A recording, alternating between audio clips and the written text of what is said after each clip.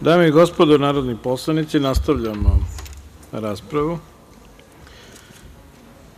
Sledeći se prijavio Samir Tandir. Izvolite. Poštovani predsedniče, koleginice i kolege narodni poslanici, danas govorimo o važnoj temi etičkog kodeksa u Skupštini Republike Srbije. Pre nego što pređem na temu, želim da se osvrnem na izlaganje gospodina Đorđa Milićevića, koji je rekao – manjinske zajednice moraju da poštuju Ustav. Svi građani, građanke i građani u Republici Srbiji moraju da poštuju Ustav. Ne mislim da je rečeno ništa zlonamerno, ali zbog diskursa i zbog definicija to želim da kažem iz dva razloga. Prvo, zato što to implicira da manjinske zajednice ne poštuju Ustav, što nije tačno, a druga stvar jeste da Ustav moraju da poštuju sve građanke i građani u Republici Srbiji. Da li se on nekom sviđa ili ne sviđa, to apsolutno nije važno. Naravno da ni Ustav nije savršen akt i da je podložan izmenama. To je, između ostalog, i moj stav, ali dok je na snazi, svi građanke i građani koji u Republici Srbiji žive moraju da poštuju taj akt. Kada govorimo o kodeksu, tu su ključne reči po meni pristojnost, ali između ostalog i politička korektnost. I to je nešto što ne možete da naučite onog dana kada vam građani daju podršku na izborima. To je nešto prvenstveno što donosite iz svoje kuće i svoje porodice. Da ono što ne želite da se vama radi, vi ne radite ni drugim ljudima. Znači, svako od nas sada kada bi hteo mogao bi da gurne prst u oko nekom drugom i kada govorimo o kolektivitetima, kao narodima, da pokrećemo raznorazne povjesne teme, da se bavimo istorijom ili revizijom istorije ili interpretacijom istorije na svoj način. Takođe, u odnosu između političkih subjekata, između stranaka, možemo takođe tu da gurnemo prst u oko jedni drugima i da se bavimo takođe vraćanjem u prošlost, analizom šta je ko, kada i kako radio i tako dalje. To pristojni, kulturni ljudi svakako ne rade. Takođe, u međuljudskim odnosima možemo tim da se bavimo. Znači, kada govorimo o kodeksu ponašanja, prvenstveno ključna stvar tu jeste, mi ćemo to usvojiti, glasaćemo za to. Jako mi je žao što to moramo da usvajamo zato što to neko traži od nas, jer se podrazumeva da čovek kada dobije mandat, kada uđe u parlament, da mu je potpuno jasno kako on treba da se ponaša i da sve norme ponašanja koje je do tada imao da ih diže na veći nivo, jer ima odgovornost za datu reč, pogotovo u ovom časnom domu, najvećem predstavničkom telu. Što se tiče šta se sve radilo u ovom parlamentu, ne želim da se vraćam mnogo u prošlost, ali smo svedoci da se ovde razne stvari su dešavale, da je obezbeđenje reagovalo, da su ljudi donosili kamenje ili kamenice, da su se gađali cipelama i to je nešto što svakako nama u tom trenutku i tom sazivu parlamenta nije služilo na čast. Ono sa čim se ne slažem, a što se želi steći slika u javnosti jeste da iz nekog razloga ovaj saziv parlamenta ima problem sa legitimitetom, što apsolutno nije tačno. Građani su na slobodnim izborima izašli i glasali za stranke, za narodne poslanike za koje su smatrali da oni treba da ih predstavljaju i danas smo mi tu.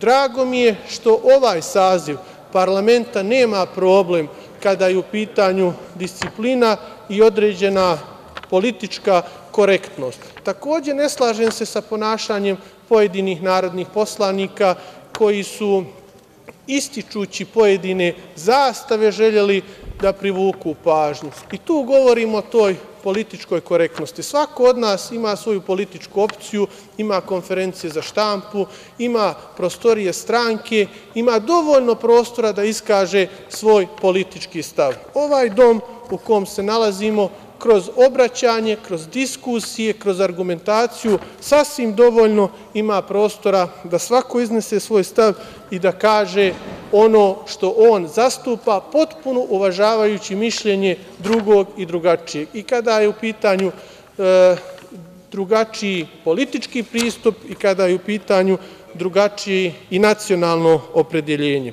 Koliko Stranka pravde i pomirenja posvećuje pažnju vraćanju morala u politiku govori to što je ime naše stranke Stranka pravde i pomirenja. I lider naše stranke, akademik Muamer Zukorlić, više puta i ovde u Skupštini i u drugim javnim obraćanjima isticao je da je svrha, između ostalog, našeg bavljenja politikom vraćanje etike u politiku.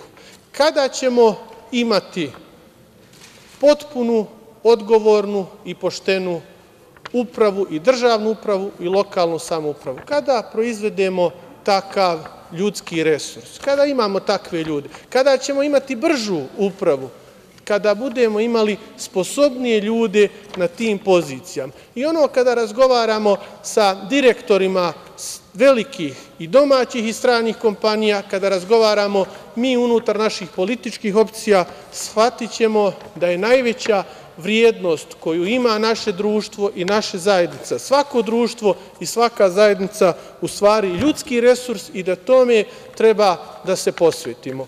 Ovaj kodeks o kome danas govorimo i koji ćemo sutra usvojiti svakako je važan, ali je važnije od toga da vidimo šta naša deca uče u školama, šta naša deca uče u našim kućama, kako mi vaspitavamo našu decu i generacije koje dolaze. Kada od toga krenemo, neće više biti važno da li imamo Poslovnik u parlamentu ili da li imamo kodeks koji definiše način ponašanja i što je još poražavajuće način e, sankcionisanja.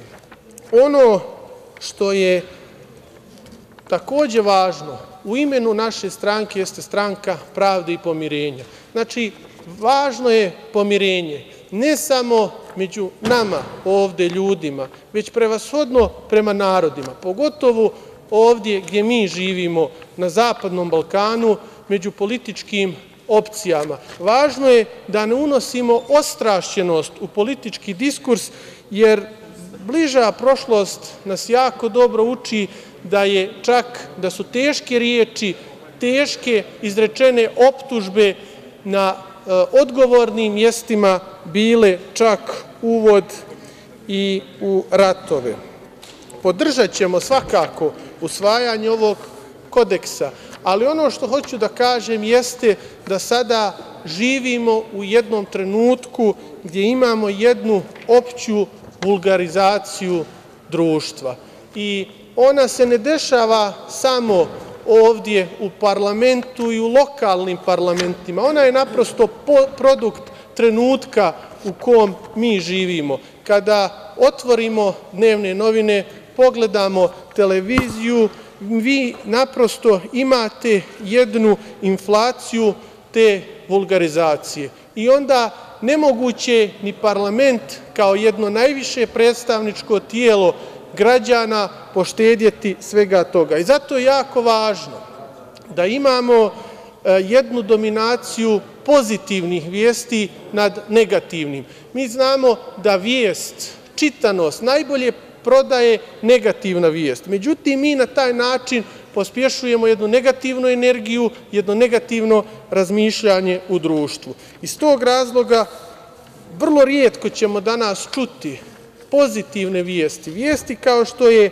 primer da je policajac Ivan Milojević u Novom Pazaru hitrom i odgovornom akcijom spasao jedno ljudsko biće. Svi smo čuli šta se tamo desilo, da smo imali jedan mafijaški, revolveraški obračun, ali malo nas je zapamtilo ime ovog čoveka. To je ta vulgarizacija društva o kojoj ja govorim i gde mi, između ostalog, sa ovog mesta trebamo poslati poruku da to tako ne treba. Takođe, imali smo akcije, humane akcije u trenutku sada kada se naše društvo i naša država i svi građani i medicinski sektor bore sa Kovidom 19, sa pandemijom tog virusa, da je dijaspora iz naše zemlje, a posebno moram da kažem iz oblasti iz koje ja dolazim, iz Sandžaka,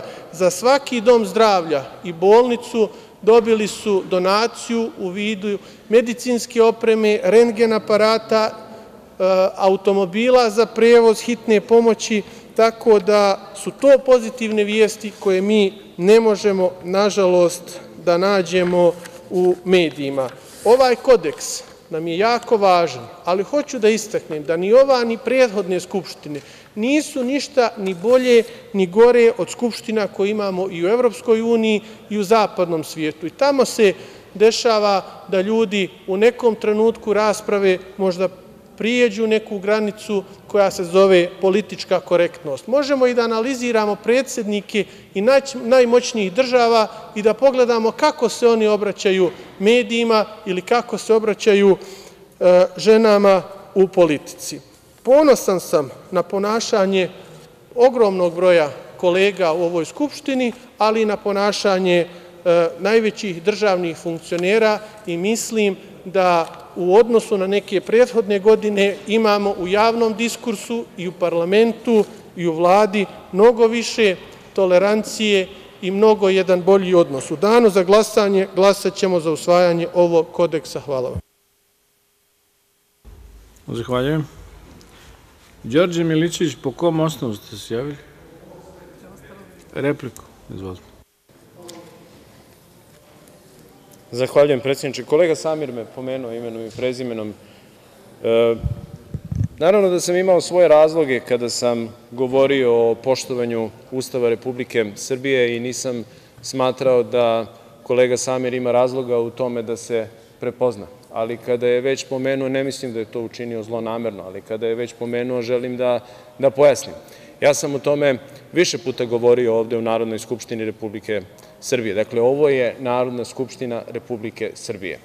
Svako od nas je onog trenutka kada su verifikovani mandati potpisao zakletvu, a ta zakletva podrazumeva i poštovanje Ustava i da ćemo raditi u najboljem interesu građana Srbije. Ustav kaže da je Srbija jedinstvena i nedeljiva. I onda je za mene nezamislivo da predsednici, kao predsednici poslaničkih grupa Narodne skupštine Republike Srbije, odlaze recimo u Prištinu i šalju zapaljive poruke upućene Vladi Republike Srbije samo zato što incidenti koji su želeli da izazovu ovde u parlamentu i da skrenu pažnju javnosti nisu uspeli, jer su od strane predsednika naišli na jedan prag tolerancije i rasprava je nastavljena u demokratskom duhu. Dakle, to što oni imaju osećaj manje vrednosti, to je njihov problem ali Srbija ne želi da diskriminiše nikoga, a to što oni diskriminišu predstavnike svoje nacionalne zajednice, to je već njihovo pitanje.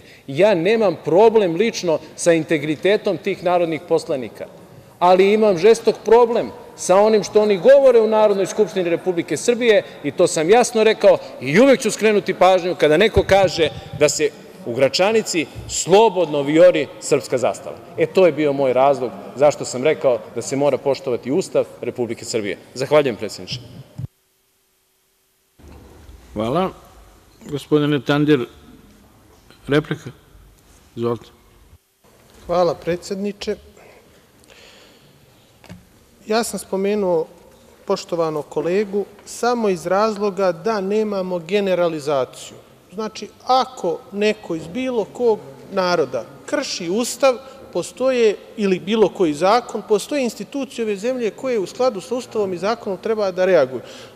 Ali to naglašavanje, e, jasno sam akcentovao, znači, manjinske zajednice u Republici Srbiji treba da znaju, ja mislim da to manjinske zajednice znaju, ja kao pripadnik manjinske zajednice to znam, vi kao pripadnik većinskog naroda isto to znate i ne postoji neki etnički zakoni, hvala Bogu, u ovoj zemlji koji nas odvajaju. Jednostavno, niti sam mislio da vi mislite nešto zlonamerno, ali samo zbog diskursa i zbog građanki i građana koji nas gledaju, jednostavno Ustav i zakon Republike Srbije treba da poštuju svi, a ako postoje neki koji ne poštuju, vi treba imenom i prezimenom da kažete ta politička opcija, ti ljudi i tako dalje. Hvala. Narodna poslanica Nevena Đurić. Izvolite. Uvaženi predsedavajući, poštovane koleginice i kolege narodni poslanici, poštovani građani Republike Srbije, pred nama je već dugo očekivani Predlog odluke o usvajanju Kodeksa ponašanja narodnih poslanika. Iako se na usvajanje Kodeksa čeka već duži niz godina zbog nesuglasica i obstrukcije od strane opozicionih poslanika od 2014. godine u Narodnoj skupštini Republike Srbije, sam Kodeks do danas nije usvojen. Kodeks sadrži detaljan niz etičkih pravila kojima se definiše jasan okvir u sklopu kojeg narodni poslanici moraju obavljati svoje aktivnosti. Doprinosi jačanju političkog kredibiliteta i kao formalni dokument daje jasne smernice o prihvatljivom i neprihvatljivom ponašanju narodnih poslanika i doprinosi stvaranju političkog ambijenta koji se zasniva pre svega na pristojnom, na tačnom, na transparentnom, na poštenom i ispravnom ponašanju narodnih poslanika. Usvajanje Kodeksa ponašanja narodnih poslanika je i očekivano, s obzirom da se Srbija nalazi na evropskom putu u procesu pristupanja Republike Srbije Evropskoj uniji, te se intenzivno radi na primeni evropskih standarda i usklađivanju naših principa, propisa i zakona sa zakonima Evropske unije. Kodeks ponašanja narodnih poslanika usvaja se sa ciljem da se etički standardi narodnih poslanika podignu na jedan viši nivo, čime se povećava poverenje građana Republike Srbije u parlament i nepoštovanjem tih vrednosti sadržanih u Kodeksu se direktno podriva ugled Narodne skupštine Republike Srbije. Kodeks sadrži osnovna načela, opšte etičke vrednosti i pravila ponašanja kojih se svi mi, narodni poslanici, moramo pridržavati u svom radu, u odnosu sa drugim narodnim poslanicima, institucijama i društvom, obuhvata javnost rada, nadzor nad primenom Kodeksa, praćenje poštovanja odredbi Kodeksa i mere u slučaju povrede istog.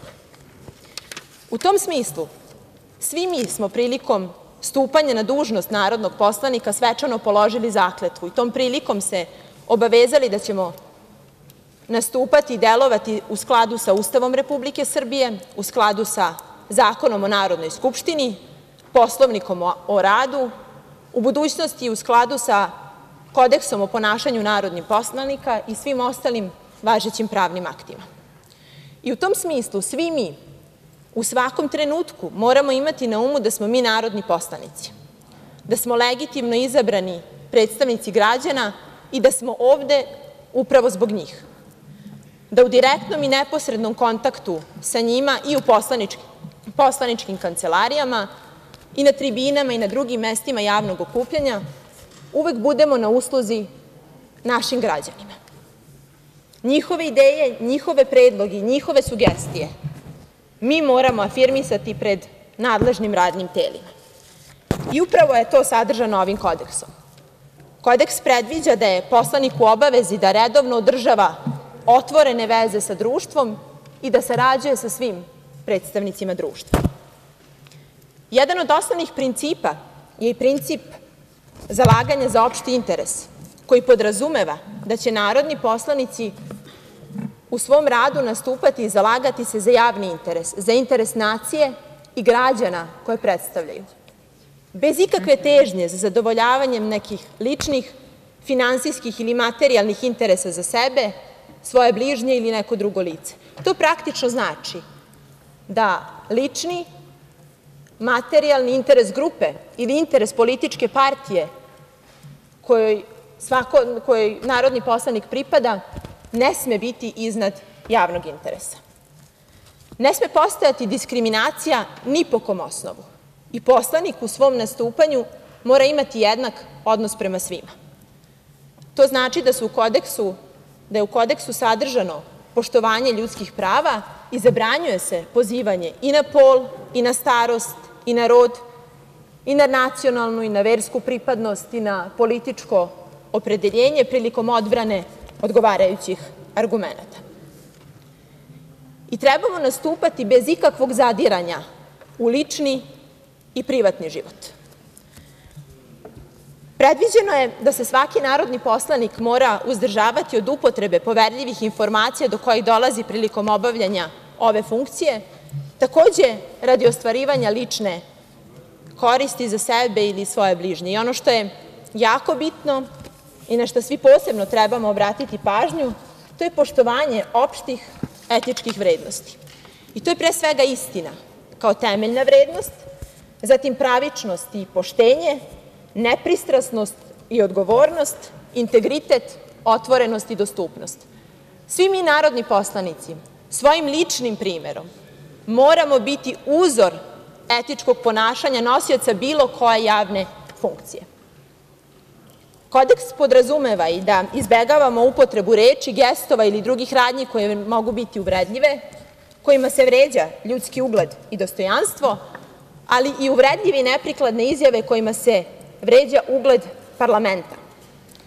Dužni smo da ne koristimo mobilne telefone na način, ili druga sredstva, ne samo mobilne telefone, na način koji ometa tok Narodne skupštine. Kodeksom je zabranjeno i unošenje obeležja i simbola političkih partija ili stranih država, osim simboličnih obeležja političkih partija, a i toga smo bili svedoci u prethodnim danima. Ja mislim da svi mi moramo imati na umu da smo poslanici u Narodnoj skupštini Republike Srbije, koja je nezavisna i suverena država i koja se nalazi na evropskom putu. Kodeks propisuje i da izabrani predstavnici neće koristiti prednost obavljanja poslaničke funkcije u cilju ostvarivanja vlastitih direktnih ili indirektnih interesa i da će poštovati sve važeće propise koji se odnose na ograničavanje istovremenog obavljanja dve ili više nespojivih funkcija. Ukoliko bilo ko od nas ima neposredan ili posredan lični interes o temi ili o stvari o kojoj se raspravlja ili odlučuje u Narodnoj skupštini Republike Srbije, dužan je da pre početka rasprave ili pre početka odlučivanja o tome obavesti pisanim ili usmenim putem predsednika Narodne skupštine. Kodeks nas obavezuje da se uzdržavamo od svih aktivnosti koje se mogu okarakterisati kao podmićivanje i obavezuje nas da se aktivno uključimo u sve oblike razotkrivanja korupcije. Kodeksom je predviđeno i da narodni poslanici neće primati poklone, osim prigodnih, simboličnih, protokolarnih poklona i o tome smo dužni da obavestimo predsednika Narodne skupštine. Ni na koji način ne smemo podsticati druga lica da krše odredbe ovog kodeksa i sa poštovanjem moramo da se odnosimo prema svim zaposlenim licima u Narodnoj skupštini Republike Srbije bez ikakve diskriminacije. I osim toga, ne smemo od drugih lica da zahtevamo da preduzimaju određene aktivnosti u cilju ostvarivanja naših interesa. Dužan je narodni poslanik da nadoknadi svu materijalnu štetu koju je namerno ili iz krajnje nepažnje naneo Narodnoj skupštini Republike Srbije. I ono što je bitno je da se od svih nas očekuje da u svom radu nastupamo javno i da podstičemo svaku otvorenost prema javnosti. Nadzor nad primenom kodeksa ima Odbor za administrativno-budžetska i mandatno-imunitetska pitanja i ukoliko postoji ikakva indicija o povredi kodeksa i predsednik Narodne skupštine i svi mi narodni poslanici možemo nadležnom odboru podneti prijavu o povredi kodeksa, pri čemu odbor odlučuje o daljim aktivnostima. Da li je prijava potpuna ili nepotpuna, da li postoji potvrda o povredi odredbi kodeksa, da li su navodi podnosioca prijave osnovani ili nisu. Odbor donosi odluku o povredi kodeksa i za nepoštovanje kodeksa izriče se mera opomene ili javne opomene koja će biti istaknuta na sajtu Narodne skupštine Republike Srbije u trajanju od 30 dana. poslanik parlamenta u svakom trenutku i na svakom mestu, što znači i unutar i izvan parlamenta, mora da se ponaša na način koji održava ugled i dostojanstvo ovog visokog doma i da svojim aktivnostima utiče na očuvanje duha parlamenta. Sve pomenuto me je samo dodatno inspirisalo da se osvrnem na radnje i aktivnosti kojih smo bili svedoci u prethodnom periodu i na one narodne poslanike i funkcionere čije se ponašanje i te kako kosi sa odredbama ovog kodeksa. Da krenemo od glasnogovornice Dragana Đilasa, Marinike Tepić, koja iako je do sada promenila čak šest stranaka, ali nikada do sada svakako nije imala ovako bogatog šefa koji je sam priznao da poseduje 25 miliona evra u nekretninama i za čijih je 619 miliona sad već čuo ceo svet. Ali, pošto je on čovek o kome se ne govori, mene samo jedna stvar interesuje, je on čovek o kome se ne govori samo po pitanju Mosta na Adi ili je on čovek o kome se ne govori po pitanju svake korupcionaške afere koja se vezuje za njegovo ime? E, u tom slučaju bismo morali da imamo sud koji bi radio samo za njega i koji bi nama izdavao rešenja kojima nam se zabranjuje da pominjemo lik i delo tog čoveka. Ali, da se vratimo na Mariniku Tepić. U interesu građana Republike Srbije radi tako što svoj potpis stavi na papir i optuži srpski narod za, lažno optuži srpski narod za genocid u Srebrenici. Jedino što ne znam koja je u tom trenutku politička partija bila u njenoj sferi interesovanja. Svoje znanje i iskustvo je sticala napuštajući svoje stranačke kolege i partijske saradnike odmah nakon izbornih neuspeha, svakako će ostati upamćena i kao najneuspešniji pokrajinski sekretar. Tu dolazimo do onog dela koji se odnosi na korišćenje i zloupotrebu funkcije u cilju ostvarivanja ličnih i vlastitih interesa. Kao pokrajinski sekretar za omladinu i sport nenamenski je trošila budžetska sredstva u cilju ostvarivanja ličnih i privatnih interesa, te tako inspekcija utvrdila da je finansirala jedan fitnes klub koji praktično i ne postoji, jer se na adresi pomenutog fitnes kluba nalazi privatna kuća u kojoj čak i nema teretane. Pa, jel to princip zalaganja za opšti interes, za javni interes, za interes nacije interes građana Republike Srbije? Ostavila je praznu kasu i najuspešnije naše mlade sportiste bez nagrade tu dolazimo do onog dela koji se odnosi na diskriminaciju, na jednako ponašanje prema svim građanima Republike Srbije, ali je zato davala novac za one klubove koji su u njenoj sferi interesovanja, iako su ti klubovi igrali u beton ligama. Dalje, kada govorimo o koruptivnoj družini u opozicionim krugovima, i opet se sve vezuje za glasnogovornicu Dragana Đilasa, jedan od njenih prvih saradnika u Ligi socijaldemokrata Vojvodine, narko-diler i čovek koji je od ranije poznat policiji, je bio zadužen da iseli novinara iz Pančeva, jer je taj čovek za Mariniku Tepić nepodoban. Tako ona radi u interesu građana Republike Srbije. Ono što nam nije poznato je od kada datira tačno to njihovo poznanstvo i koliko on profitirao u periodu dok je ona bila pokrajinski sekretar za omladinu i sport. Danas ta žena presreće ljude po Srbiji, upada u krugove brojnih fabrika i javnih preduzeća kako bi plasirala koju lažnu informaciju, jer je ipak stručnjak za sve. Žena drži konferencije za štampu ispred kovid bolnice dok se ljudi bore za život. Kada je reč o kovid bolnici u Kruševcu, plasirala je lažne informacije i plasirala je fotografije bolnice koja je u izgradnji dan nakon što je bolnica zvanično otvorena. Ona nije jedina. Vuk Jeremić će svakako ostati upamćen po primitivizmu i nazadnosti uticaja na javni život i građane Republike Srbije. Čovek koji je iskoristio položaj ministra spoljnih poslova Republike Srbije kako bi sebi izlobirao mesto predsednika Skupštine u nacijama i pritom ništa nije uradio u javnom interesu, već je tu poziciju iskoristio isključivo za ličnu promociju i kako bi nedozvoljeno sticao sredstva za svoj Centar za međunarodnu saradnju i održivi razvoj, organizacija koja je dobila tri miliona evra donacija, a da su pritom donatori sakriveni od očiju javnosti. Pa je li to princip zalaganja za opšti interes? Ovo bismo mogli da posmatramo kao princip zalaganja za opšti interes samo po računici Miroslava Aleksića, koji kad od dinara oduzima dolare dobije rezultat u evrima.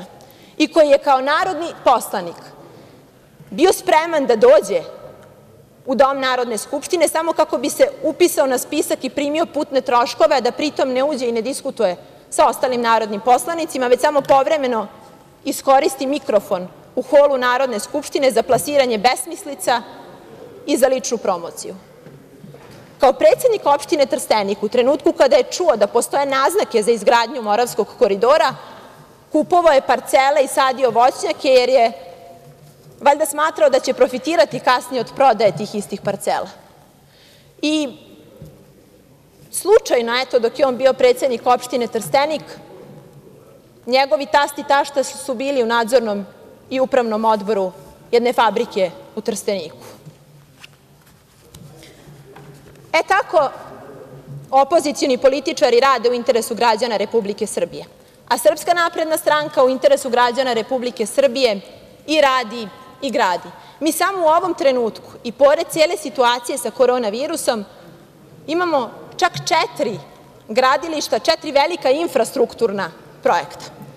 Radi se na Moravskom koridoru, radi se autoput Ruma-Šabac-Loznica, Požega-Preljina i Kuzmin-Sremska Rača. I ni od jednog projekta se nije odustalo. Nije se odustalo ni od rekonstrukcije infektivne klinike, čiji se završetak radova očekuje u aprilu naredne godine. Ono što je jako bitno je da se nijedan investitor nije povukao ili odustao od planirane investicije. I pored cele situacije sa korona virusom, mi podižemo plate, podižemo penzije, imamo nikad veći budžet za kapitalne investicije. Budžetom za 2021. godinu predviđeno je povećanje penzija od 5,9%, povećanje plata u javnom sektoru od 5%, povećanje minimalne zarade od 6,6% i paralelno sa tim smanjenje opterećenja na zarade za 0,6%, što je jako značajno za poslodavce, smanjenje, e, povećanje neoporezivog dela dohotka sa 16.300 na 18.300. Ako bih se osvrnula samo na ono što je u proteklih desetak dana urađeno u Republici Srbiji, jasan je pokazatelj kako Srpska napredna stranka radi u interesu građana Republike Srbije. Postavljen je kamen temeljac za japansku, novu japansku kompaniju u Inđiji Toyo Tires. Isplaćena je jednokratna pomoć penzionerima u iznosu od 5.000 dinara. Otvorena nova COVID bolnica u Kruševcu koja je izgrađena u rekordnom roku za samo četiri meseca i otvoren je državni data centar u Kragujevcu, zahvaljujući kom Srbija postaje zemlja sa najmodernijom bazom podataka. Kada je reč o zaštiti dostojanstva Narodne skupštine Republike Srbije, cilj je da se pre svega suzbiju sve aktivnosti i postupci svih narodnih poslanika koji urušavaju dostojanstvo ovog visokog doma. Ne smemo da dozvolimo da se ikada više ponove nemili događaji poput vređanja, poput ponižavanja, omalovažavanja i verbalnog nasilja u ovom visokom domu. Ovo je mesto gde se isključivo govori snagom argumenata i činjenica. Dostojanstvo ovog visokog doma narušava se kada Boško Obradović upadne ovde sa pištaljkom, kada zastavom udara u vrata Narodne skupštine, kada fizički nasrće na narodne poslanike, kada fizički nasrće na predsednicu Narodne skupštine, kada narodne poslanike gađa mišem, kompjuterskim mišem, kada cepa sakoe narodnim poslanicima, kada unosi kamen u ovaj visoki dom. Pa setimo se Saše Radulovića koji je ovde dolazio sa gitarom i dok su narodni poslanici stajali uz himnu Bože pravde, jer se završavalo tada jesenje zasedanje, on je u holu Narodne skupštine pevao i svirao uz pesmu Pada Vlada. Pa setimo se šta je sve radio Srđan Nogo, pozivao je ljude da nasilno upadnu u ovaj visoki dom. Pa je li to očuvanje dostojanstva ovog visokog doma? Da se na posao, jer ovo jeste naše radno mesto, dolazi sa paintball puškama i praćkama i da se građani Republike Srbije pozivaju da dođu na puškaranje na buduće narodne poslanike. Dom Narodne skupštine mora biti mesto u kome se odvijaju teške i argumentovane rasprave u kojima se diskutuje i debatuje, a ne birtija u kojoj se vređa, psuje, pljuje i dovikuje. I tome moramo stati na put. To je neprimereno i nedopustivo u parlamentu, u najvišem zakonodavnom telu jedne države. I usvajanjem kodeksa ponašanja narodnih poslanika će se upravo tome stati na put, te će poslanici stranke svakako podržati predloženi kodeks ponašanja narodnih poslanika. Hvala.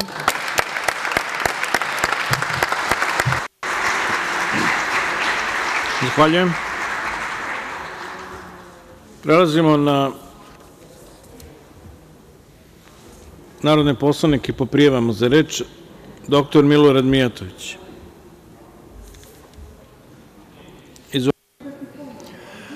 Hvala, gospodine predsedniče.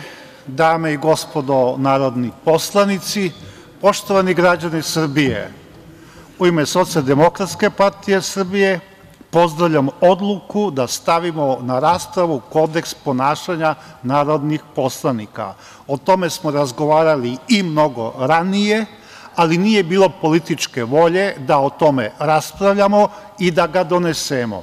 Ja sam u potpunosti siguran da ćemo mi u toku sutrašnjeg dana doneti ovaj kodeks i da će to biti jedno pravilo ponašanja. Ja u svom govoru želim da se osvrnem i na još jedan deo našeg ponašanja uopšte, a to je na javni prostor u Republici Srbiji. Ja mogu da kažem da zaista su mnoge crvene linije pređene. Više u Srbiji ništa nije sveto. Možete sve napadati, porodicu, decu, roditelje, veru, opredeljenja, sve možete napadati, a da zato ne snosite posledice. Nema posledica i jednostavno naš javni prostor postaje zagađeni prostor. Zašto? Pa zato što smo izgubili mnoge kriterijume, zato što pojedinci smatraju da mogu sebi sve da dozvole, da govore o svemu i svačemu, a da zato ne snose nikakve još nešto, u našoj zemlji, u Srbiji, izgleda istina više nije bitna. Često je cilj da se laž prikaže kao istina, a istina kao laž. Ja vam mogu navesti nebrojeno mnogo primera. Pa čak i juče sam video jedan primer gde sam bio akter jednog događaja, gledao sam izveštaj na jednoj televiziji, neću je spomenuti, neću ni jednu televiziju spomenuti, ali sam video šta znači neprofesionalizam, šta znači tendenciozni prikaz i šta se želi da postigne. Da ono što je dobro da se prikaže kao loše i da građani imaju saznanje da mi ništa ne znamo, a da oni drugi znaju bolje od nas i da rade bolje od nas. Znate, mnoge vrednosti u jednom društvu se ne mogu uvek i propisati jednim aktom. Ovaj kodeks ponašanja može samo da nam bude jedan vodič, a ne da mi mislimo da samo čitajući ovo ćemo se tako ponašati. Mnoge vrednosti se stiču u porodici, stiču se u školi, zatim se stiču samim vaspitanjem samog sebe, verom u samog sebe. Znate, ako mi potcenimo znanje, potcenimo poštenje, istinu, skromnost, odgovornost, poštovanje i sve relativizujemo i kad dođemo u situaciju da nam istina više nije istina, da laž postane istina, onda čovek izgubi sve kriterijume, ne zna kako da se ponaša. Pozdravljam odluku da sami počinjemo od našeg parlamenta, što bi narodski se reklo da čistimo u svom dvorištu, ali ne samo da govorimo rečima, već da to pokazujemo i delom i ličnim primerom. Znate, lični primer je vrlo važan. I drugo, ovaj kodeks jeste i zadatak koji imamo da bismo ušli u Evropsku uniju i kao što znate, Evropska unija nije baš tako uređena i nije jedna cvetna bašta, ali je i nešto najbolje što postoji i zato Srbija treba i mora da postane član EU, a Socijaldemokratska stranka Srbije je ta koja zaista podržava taj strateški cilj i ovog puta naglašavam, strateški cilj Srbije jeste da postane deo EU. A zašto? A to je da poštujemo standarde koji važe u EU. Mi ne znamo kad ćemo postati članica EU. Mi ćemo za koji dan govoriti i o izveštaju EU koji će imati na dnevnom redu naše Skupštine, ali standardi koje ima EU, koja poštuje, moraju biti i standardi Srbije. Srbija je inače u EU i sama ta činjenica govori da smo tu mnogo uradili. Kad kažem da EU nije uvek jedinstvena, ja sam prisustvovao u Evropskom parlamentu mnogim raspravama. Znate, tamo postoje razne radikalne grupe, leve i desne orijentacije. Tamo čujete mnogo stvari, vrlo neprijatnih, vrlo nekulturnih stvari, ali to je manjina. Oni mogu to da kažu, ali nema plodnog tla u Evropi da to doživi, da, se to, da to cveta i da to napreduje. Tamo je većina demokratska, poštuje, poštuje se stav većine i poštuju se te vrednosti, to ne prave vrednosti istine, pravičnosti, poštenja, odgovornosti, integriteta. Znate, pripadam grupi ljudi koja nije za zabrane, pripadam grupi ljudi koja poštuje slobodu, ali rekao sam i neki dan, sloboda nije neograničena. Moja sloboda traje dotle dok ne ugrožavam nekog drugog. Poštujte tog drugog, poštujte različitosti. Upravo to je ono što ovaj e, naš kodeks daje nama i daje mogućnost da, da mi tako delujemo. Naravno, narodne poslanike biraju građani Srbije. A zašto ih biraju? Pa biraju ih da štite njihove interese. Ima još nešto što je veoma važno, što ponekad mi narodni poslanici zaboravljamo češće i zastupajući samo stranačke interese. Imamo državne interese. Država Srbija je ta koja, koja nam mora biti veoma bitna i ponekad neka uža stranačka gledanja moramo staviti u drugi plan, a u prvi plan staviti interese građana Srbije, državne interese. Znate, nas su građani Srbije danas izabrali. Sutra možda nas neće izabrati. Mi možda sutra nećemo biti narodni poslanici i nećemo biti na nekim funkcijama, ali kad završimo svoje mandate, mi moramo stati pred ogledalo i reći dajte da vidimo šta smo mi to uradili za našu zemlju, za državu Srbiju, da li smo neke od osnovnih stvari stavili u prvi plan. Znate, mi neko govorimo o mnogo stvari, mnogo tema se ubacuje, ali naš trenutni državni interes jeste borba protiv Kovida-19. Tu moramo svi da se ujedinimo, ma koliko različito mislili o nekim stvarima, ma koliko različito gledali, ali sve naše snage, kapacitete, umeće moramo uh, upotrebiti da imamo pobedu nad Covidom-19. I, znate, često koristimo i jake reči. Pustimo jake reči. Ostaju rezultati iza nas. Jake reči budu pa prođu. I sam naš pesnik je rekao ubi me jaka reč, nemojte jake reči. Dajte da vidimo šta ostaje iza nas, šta smo mi to uradili da bismo napredili Srbiju, šta smo izgradili, šta ostaje iza nas. I još nešto. Poslanici su javne ličnosti. Našim delovanjem mi dajemo primer drugima. Ja sam pristalica davanja ličnog primera. Znate, ne možete nešto naučiti. Ne možete naučiti e, kao papagaj pa ponavljati. Vi morate imati u svojoj ličnosti, u svom vaspitanju, u svom integritetu te vrednosti. Ako te vrednosti poštujete, tada ćete i delovati.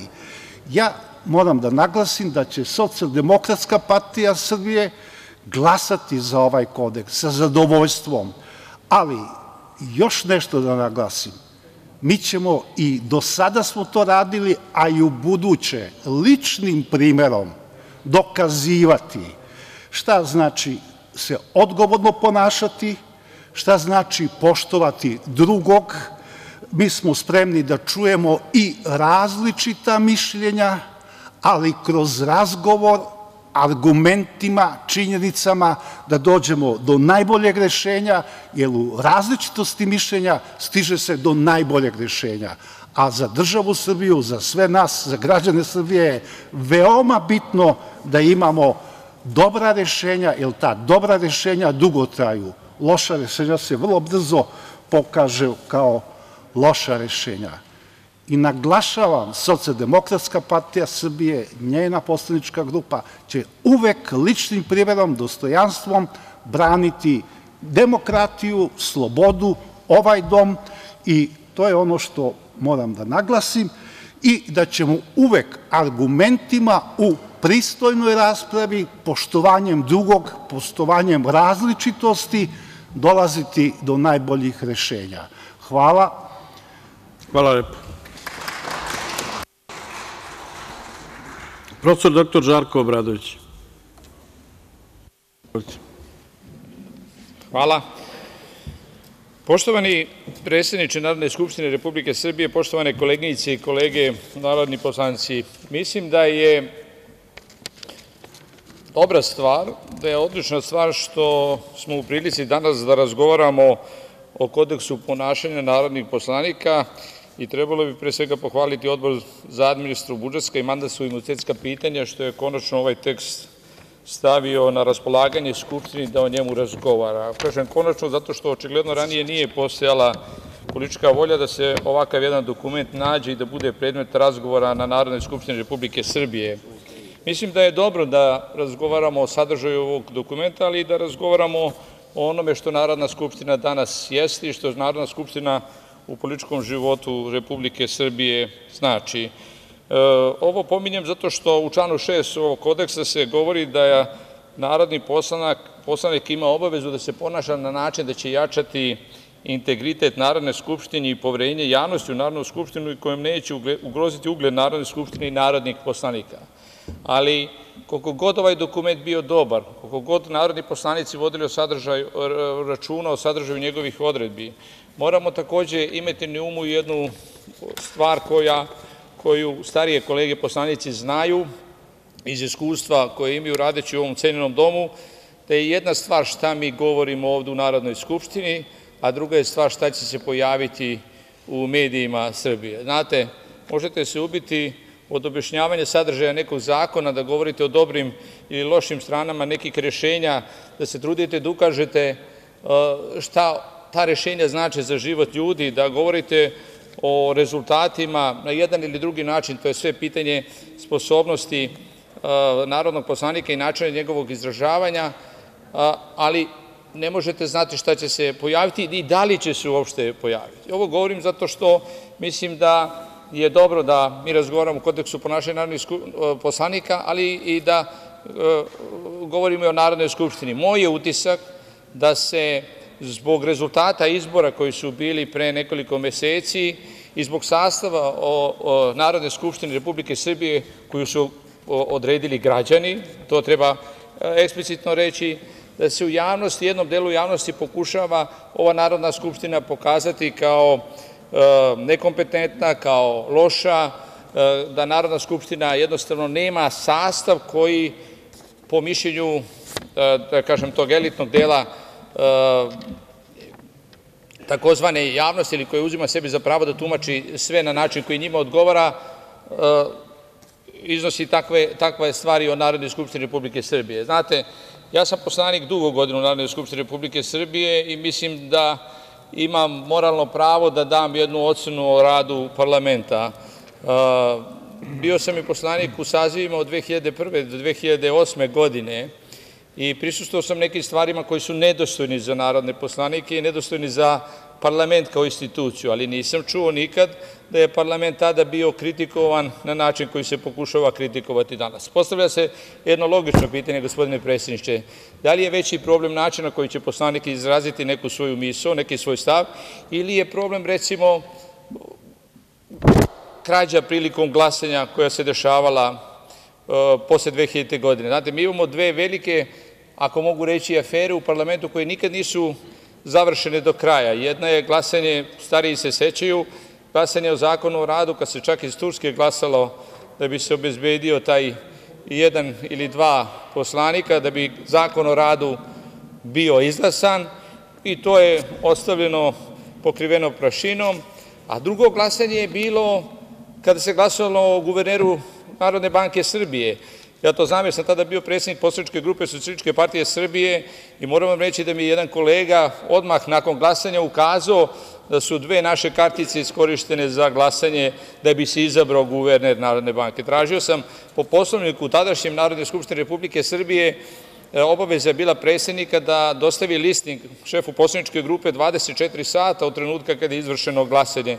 Taj sam listing dobio nakon šest meseci. Međuvremenu sam naravno ja podneo krivičnu prijavu za zloupotrebu službenog položaja i ta krivična prijava sedi u nekoj fioci pored tadašnjeg predsednika, odnosno predsednice Narodne skupštine. I sad postavljam sebi i vama pitanje da li je to dostojno ponašanje narodnog poslanika u Narodnoj skupštini Republike Srbije? Da li je to dostojno, da li je to govori o karakteru ponašanja Narodne skupštine? Ali nije bilo kritičkih reči ovaj, sem časnih izuzetaka o tome šta Narodna skupština tada radi. A da ne pominjem da nosiocima tih funkcija nije palo na pamet da eventualno priznaju to pa da se ponovo proveri glasanje u Skupštini, jer skupštinska većina je postojala, ali nije postojala dobra politička volja.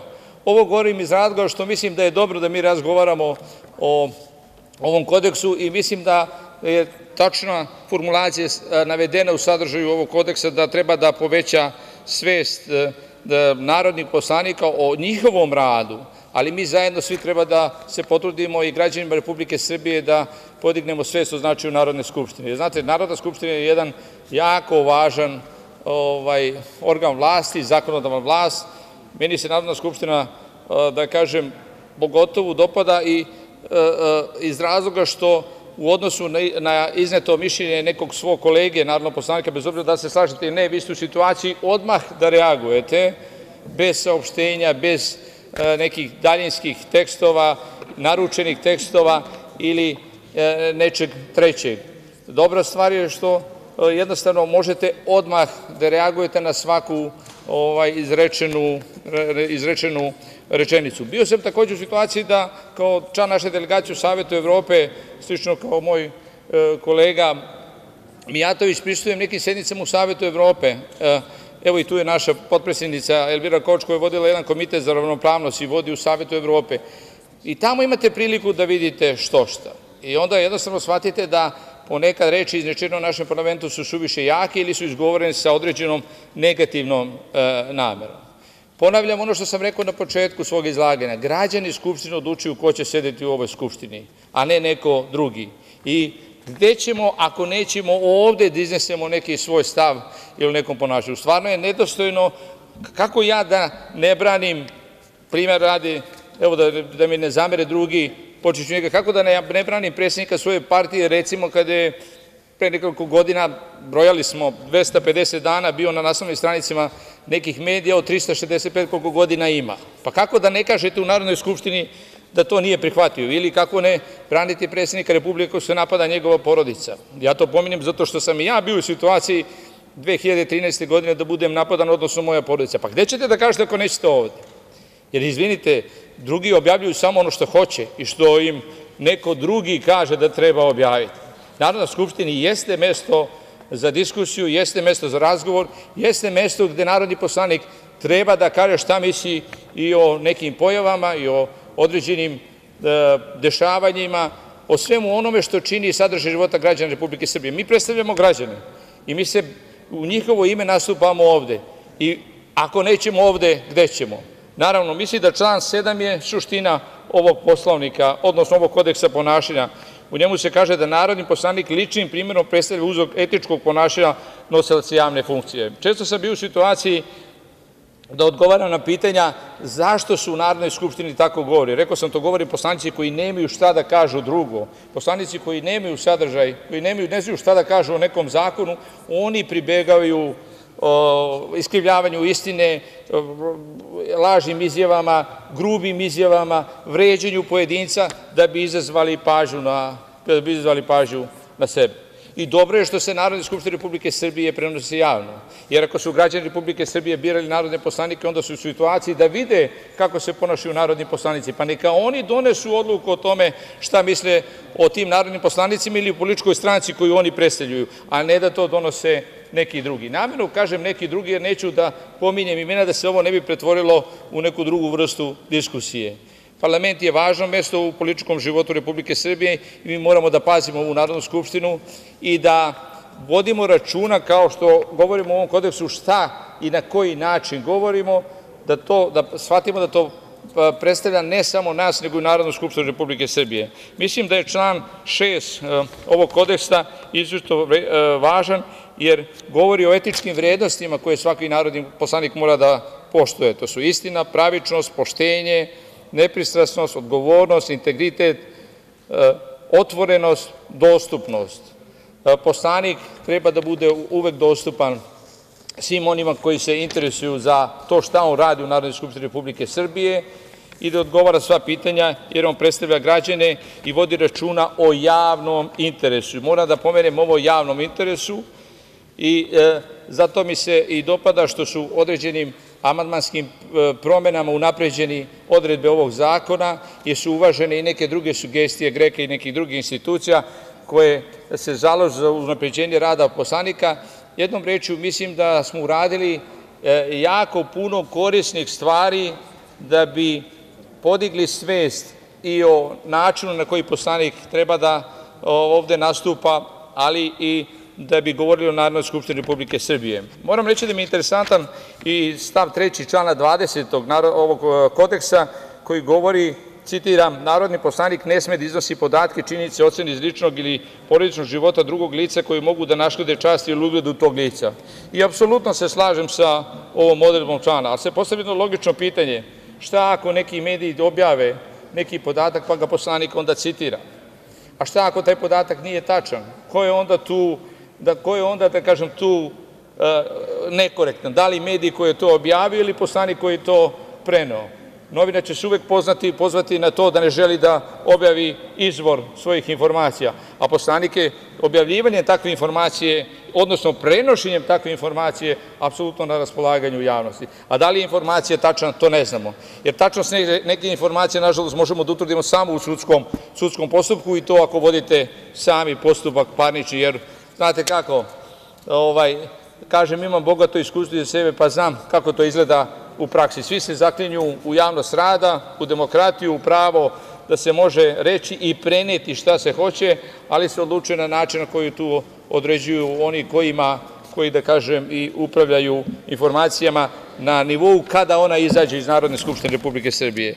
Mislim, jednom rečju, da je dobro što smo mi danas počeli ovaj razgovor o kodeksu ponašanja narodnih poslanika i mislim da Skupština treba da se, da poslanici u Narodnoj skupštini treba da razgovaraju na način da afirmišu i način svog rada i Narodnu skupštinu i teme koje se nalaze na dnevnom redu, uvek uz mogućnost da daju svoj komentar o nekim društvenim pojavama, naravno navodeći izvor, ako koriste neke druge podatke, navodeći i podatke, izvor tih podataka, jednom rečju da budu spremni da odgovaraju građanima za ono što građane interesuje. Jer mimo ove sfere, mimo ove sale, mi imamo komunikaciju u okviru svoje političke stranke, kada se neko interesuje o našem radu i ti građani takođe zaslužuju da budu na adekvatan način predstavljeni.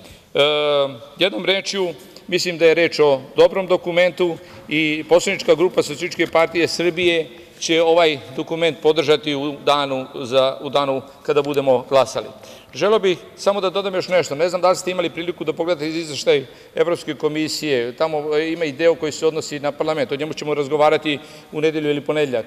Tamo se govori da je parlament unapredio svoj rad. Govorim ovo zato što stvarno je napravljen veliki pomak unapred i mi svojim, da kažem, načinom izražavanja ili obrade pojedinih tema i koristeći ovaj kodeks, odnosno primenjujući sve ono što je sadržano u kodeksu, mislim da ćemo na najbolji način pokazati da su građani imali pravo kad su doneli svoj sud na izborima, odnosno da se stavimo svim onim budućim građanima koji budu želeli da učestvuju na izborima.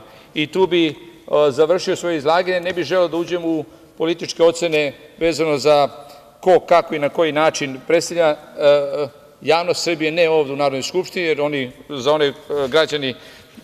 one za koje su građani procenili da treba da budu tu, oni tu jesu, ali vidite ima i drugih koji se predstavljaju kao politički važni politički činioci, a nemaju podršku građana, o njima drugi put.U svakom slučaju, mislim da je reč o dobrom dokumentu i mi ćemo iz poslaničke grupe Srbije u danu za glasanje podržati ovaj dokument. Hvala vam. Zahvaljujem profesoru dr Žarku Obradoviću. Reč ima narodni poslanik Marijan Rističević. Samo se prijavite. Dame i gospodo narodni poslanici, ja mislim da smo previše kritični prema našoj Narodnoj skupštini. Prateći neke druge skupštine ima daleko većih konflikata i daleko većih incidenata nego što to ima kod nas. Ako je obaveza da usvojimo ovaj kodeks, ja ću glasati za njega. Prvo ću da ispravim jednog kolegu, za Zakon o radu se nije glasalo iz Turske, već iz Soluna, a za guvernera se glasalo iz Bodruma. To je bila pokojna glumica. Dakle, to je bila istina, kao što je bila istina da je tom prilikom narodni poslanik koji je kasnije postao ministar policije, iako nije bio prisutan, svojim duhom kartice bio prisutan. Takođe, u tu aferu je bio umešan i Bojan Pajtić, ali se nekako izvukao. Takođe, neke kolege koje nisu pripadale vladajućoj većini su silazile i na takav način davale kvorum prilikom glasanja za guvernera. Ali, bilo je daleko težih incidenata. Ja se sećam iznošenja ljudi gde sam predložio da se obezbeđenje posebno nagradi, s obzirom da je iznosilo narodne poslanike koji su težili i po 150 kilograma, koji nisu želeli... Molim? Bio je. Ko? Žive vage. Pa, na sreću, bili su živi. Dakle, bilo je poslanika koji nisu dali džip. Dakle, kad dođe policija da zapleni džip, oni legnu i ne daju džip. Svugde diraj, ali u džip nemoj. Od svih narodnih poslanika iz tih saziva, evo, gospodin Arsić je tu, pa može da posvedoči, bilo je narodnih poslanika koji su nosili nameštaj, slike itd. Ja se sećam Svete Nogice, dana Svete Nogice u Inđiji, kad je Goran Ješić ukrasio pobedu demokratskih snaga 5. oktobra, donoseći u centar Inđije Nogicu od fotelje iz ove Narodne skupštine. Dakle, mnogo toga se dešavalo, a moja iskustva da zbog svog jezika i zbog svoje ironije sam često bio meta raznih napada. Sećam se da su mi malo zavrtali ruke kad sam bio opozicija. Sećam se kodeksa ono kada je tadašnja vladajuća većina, pošto sam bio malo ironičan, više po njih neprijatan, onda dođu pa ti skinu ton ili se javi spiker, poštovani gledaoci, vi koji ste se kasnije uključili u program, govorio je Mirko Marjanović i tom prilikom rekao i onda spiker čita dok god vi govorite i to je bio jako čudan kodeks ponašanja u to vreme. Sećam se i poslednjih događaja. Sećam se kako me jedna gospođa iz Haiki, kako se zvala ta poslanička grupa, Rasulović Kompani, Sećam se kad je ovde prolazila pored mene i Atlagića, igrali su jeračkinje, barjačkinje, ona je iskoristila gužvu u štinulema, to je bilo plavo, tako da sam ono, kad sam dolazio kući gledao da se slučajno to ne vidi i tako dalje, jer žena može da protumači na razne načine. Evo, gospodin Atlagić je svedok. Sećam se i gospođe koja je kasnije bila jako fina i koja je bila jako kritična prema Raduloviću i njegovom ponašanju, koja je zajedno sa njim pevala. Ne samo da je pevala, već jednom prilikom su došli ovde i ona me pljunula. Njen kolega mi je opsovao pokojnu majku. Ali ja sam svojim političkim protivnicima sve to zaboravio. Sećam se i nekih ljudi koji su zbog tačne informacije koju sam iznao tražili me po poslaničkim klubovima da me prebiju. Jer eto, Bože moj, jesam ja rekao istinu, ali ta istina po Blicu i ne znam po kome to gospodin Martinović, to ne odgovara u tom trenutku njihovim nekim tvrdnjama, pa sam ja kao nešto mnogo zgrešio, bez obzira što sam rekao istinu, bio sam predmet potražnje po poslaničkim klubovima da me nađu u kancelariji i da me prebiju. Čak su i novine to objavile. Niko nije kažnjen. I na kraju, ja sam očekivao da posle onog napada na stepeništu Narodne skupštine, gde 15 ljudi onako sasvim iznenada, bez ikakve rasprave vas napadne, a, dižući neki ustanak, ja sam očekivao da ću na tom stepeništu i završiti svoju karijeru. Taj čovek je prethodno uneo neku kamenčinu koja je bila kamen za kupus. Za mene, mene veći greh bio što je kamen za kupus proglasio svetim kosovskim kamenom, nego što je taj kamen bio neka opasnost po, po narodne poslanike koji su bili, bili tu. Sećam se njegovog obeleže žutog prsluka, sećam se njegovog napada, transparenata i tako dalje, sećam se i one masonke koja je stalno nosila neke natpise i tako dalje. Svega se ja to živo sećam i ja sam očekivao da će on sa kolegom Nogom da postavi jedan puškomitraljez i nas takav način spreči da uđemo u Narodnu skupštinu. Pre izbora su organizovali neke manifestacije i sve narodne poslanike su podsjetili da nam je istekao mandat i fizičkom silom pokušali da me spreče da uđem, jer eto, oni su procenili da je zbog korone nama istekao mandat i da imaju pravo da primene silu nad nama. Ali mislim ipak da je previše priča o narodnim poslanicima. Ona Agencija za borbu protiv korupcije, pa šta vi možete kolege da ukradete ovde u parlamentu? Ali iskreno da mi kažete. Ja u mojoj kancelariji imam bunt papira, dve fascikle i dve hemijske olovke. To je ono to ne razumemo u kodeksu, kako ćemo se mi materijalno koristiti. Možda ima i neka spajalica da ne grešim dušu. Mnogo je te priče kao o korumpiranosti nekih poslanika. Ljudi, ja ne znam na koji način ja mogu da budem korumpiran i šta ja mogu uopšte da uradim, niti mi učestvujemo u javnim nabavkama, niti smo u tenderima i tako. Dajte malo više na vladu, na agencije, ministarstva, uprave, dajte malo bre na ove zaštitnike, dajte malo bre, mi samo udaramo sami po sebi. Em smo najmanje od njih plaćeni, em onaj u agenciji ima tri puta veću platu od nas, Ja stalno zagovaram kodeks ponašanja, treba da bude sledeći, da smo uneli, a ja nisam napisao amandman, da smo uneli da plata onih koje mi imenujemo i biramo ne može da bude veća od naše plate. Pa ako mi možemo bez vozača, bez sekretarice i tako da, dalje, da radimo za platu bez paušala od ne znam 85-90 hiljada dinara, neka izvole gospoda iz agencije da to rade.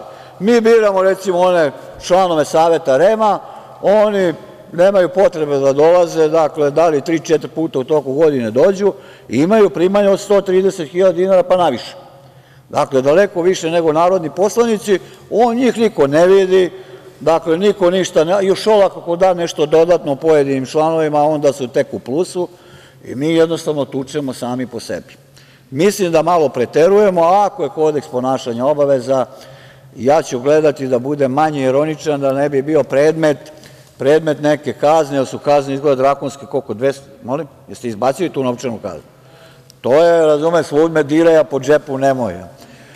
Dakle, mi koji smo kažnjavani, a gospodin Martinović tu prednjači, znamo koliko to može da bude bolno. Demokratija se ne da naturiti iz polja, to mora da raste iznutra. To je proces zrenja i mi to raznim kodeksima nećemo moći da popravimo, i oni koji su nemoćni i koji budu u nekoj manjini, ja znam i sam po sebi, onda će oni biti sve drski u svom ponašanju i biće incidenata i dalje, bez obzira na kodeks koji mi usvajamo. Znači, demokratija se ne da ni naturiti iz polja. A ovi naši politički protivnici koji su bojkotovali ovaj parlament, i to je kodeks ponašanja, dve godine dolaziš na posao, primaš platu. I sad ja pitam, evo, ni ovim kodeksom to nije predviđeno. Dakle, dozvoljeno je Ješić je bio tri godine. Dobro studirao je 13 godina i verovatno na tim studijama naučio da može da se preskoči nekoliko godina i onda tri godine nije dolazio na posao, primao platu koliko smo primali mi koji smo dolazili svaki dan, pa i danima, a to gospodin Martinović Orlić i e, gospodin Atlagić znaju, jer njih najčešće srećem, mi dolazimo i danima kada nema zasedanja i kada nam se ne plaćaju ni put, ni troškovi i tako dalje.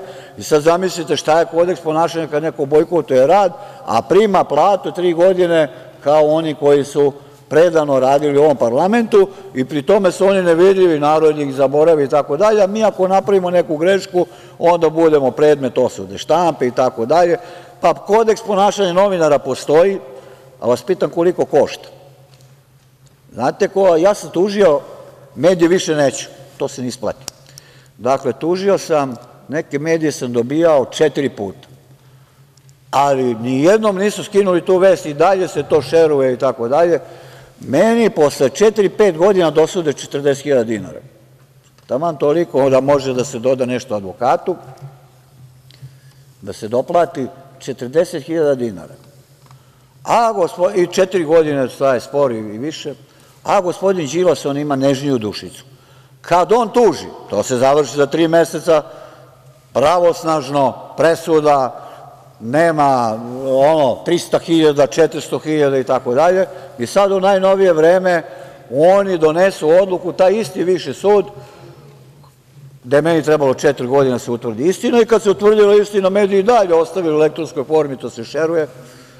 Dakle, to kod njega sad ne možeš ni da a priore napišu onako, o Đilasu više ne sme da se piše, bilo da je istina, bilo da nije istina, sve pretpostavka je nevinosti. Sve dok neko ne utvrdi na neki sud, neće moći, te sudska cenzura, to je gotovo nezabeleženo. Da li je to kodeks ponašanja? Zašto kodeks ponašanja ne važi za celo društvo? Zašto ne važi za sudije? Ajde da vas pitam, gde je kodeks ponašanja kad sudija prekrši pravilo, je tako gospodine Martinoviću, da u medije može da ide samo uz dozvolu starešine, pretpostavljenog, da ne može posebno da ide u političke emisije. Onog trenutka kad sudija uđe i politički komentariše u emisiji Olje Bećković neke političke pojave, po meni gotovo je sa nezavisnim pravosuđem i taj sudija bi trebao da bude razrešen. Nema kodeksa ponašanja, dakle, ni za sudije, nema kodeksa ponašanja za tužioca. Čekajte, bre. Ja sam pisao prijave, kolega Atlagić je pisao prijave čoveka koji me na kraju napao sa 15 huligana, pisali smo prijave, što je to odbijalo. Koji je kodeks ponašanja kad je bilo očigledno na kamerama da se čovek nasilnički ponašao? Gde je kodeks ponašanja za tužioca? Mi imamo u Skupštini i pred Skupštinom valjda status službenog lica. Izabrana, postavljena, to piše tako u zakonu. I onda kada vas neko napadne i prebije, onda vi dobijete, kaže, niže tužilaštvo, koji je to kodeks? To proceni da je to bilo nasilničko ponašanje kao da me napao tamo negde na stadionu a ne na ulazu u Narodnu skupštinu, na radno mesto, gde mi imamo status službenog lica. Em su ga oslobađali krivičnih prijava, znači kad podneseš krivičnu prijavu protiv njega, tužilaštvo kaže nema dovoljno ovo ono i dokaza i gotova stvar. Možete privatno kao da ga gonite, iako je bilo očigledno da je to nasilničko ponašanje postojalo i samoj Narodnoj skupštini. E, kad vas napadne, onda se to kvalifikuje kao niže. Ej, nemojte, ovo je Boškić, sad ćemo mi malo ovako, pošto smo selektirani onom čuvenom reformom, pošto smo samostalni od ove vlasti, ali nismo od one prethodne, sad ćemo mi delo da prekvalifikujemo u neko blaže krivično delo. Pa ja pitam, jel ima kodeks ponašanja za tužioce, za sudije, za agencije, recimo za Rodoljuba Šabića koji je našleo kan tamo puzio po, Beogradu i nikom ništa, koji je izmislio da je napadnut, Da li koji me tužio dva puta za istu stvar, pri tome falsifikovao određeni tvit da bi ja nešto bio kažnjen. Da li postoji kodeks ponašanja? On ima platu tri puta veću od mene, ne znam, malo, malo zaposlili su neki svojih prijatelja, službenika, to predsednik administrativnog odbora zna. Da li kod njih postoji neki kodeks ponašanja? Da li postoji kodeks ponašanja da koriste službene automobile kako koriste? Da li postoji kodeks ponašanja za lokalne vlasti, da li će to da važi, koji se ponašaju često na načine na koje se ne bi smeli ponašati? Ako nešto važi za poslanike, po meni treba da važi i za odbornike, za pokrajinske poslanike itd, ali uglavnom ako hoćemo da usvojimo kodeks ponašanja, ja sam za to, ali se bojim da tu ne bude negde u budućnosti nekih zloupotreba. Ima izreka, može doći do toga da poslanici budu previše oprezni. Kaže – često sam se kajao kad sam govorio, ali se nikad nisam kajao kad sam ćutao. Hvala.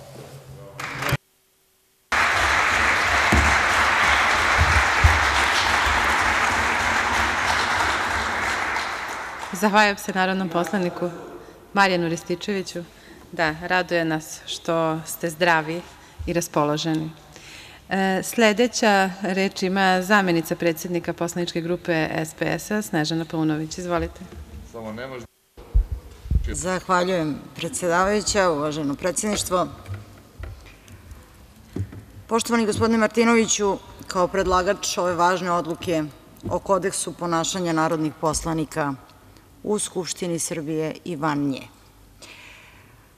kodeks ili pravilnik o ponašanju je u civilizovanom svetu nešto čemu te nauči baka kad si mali.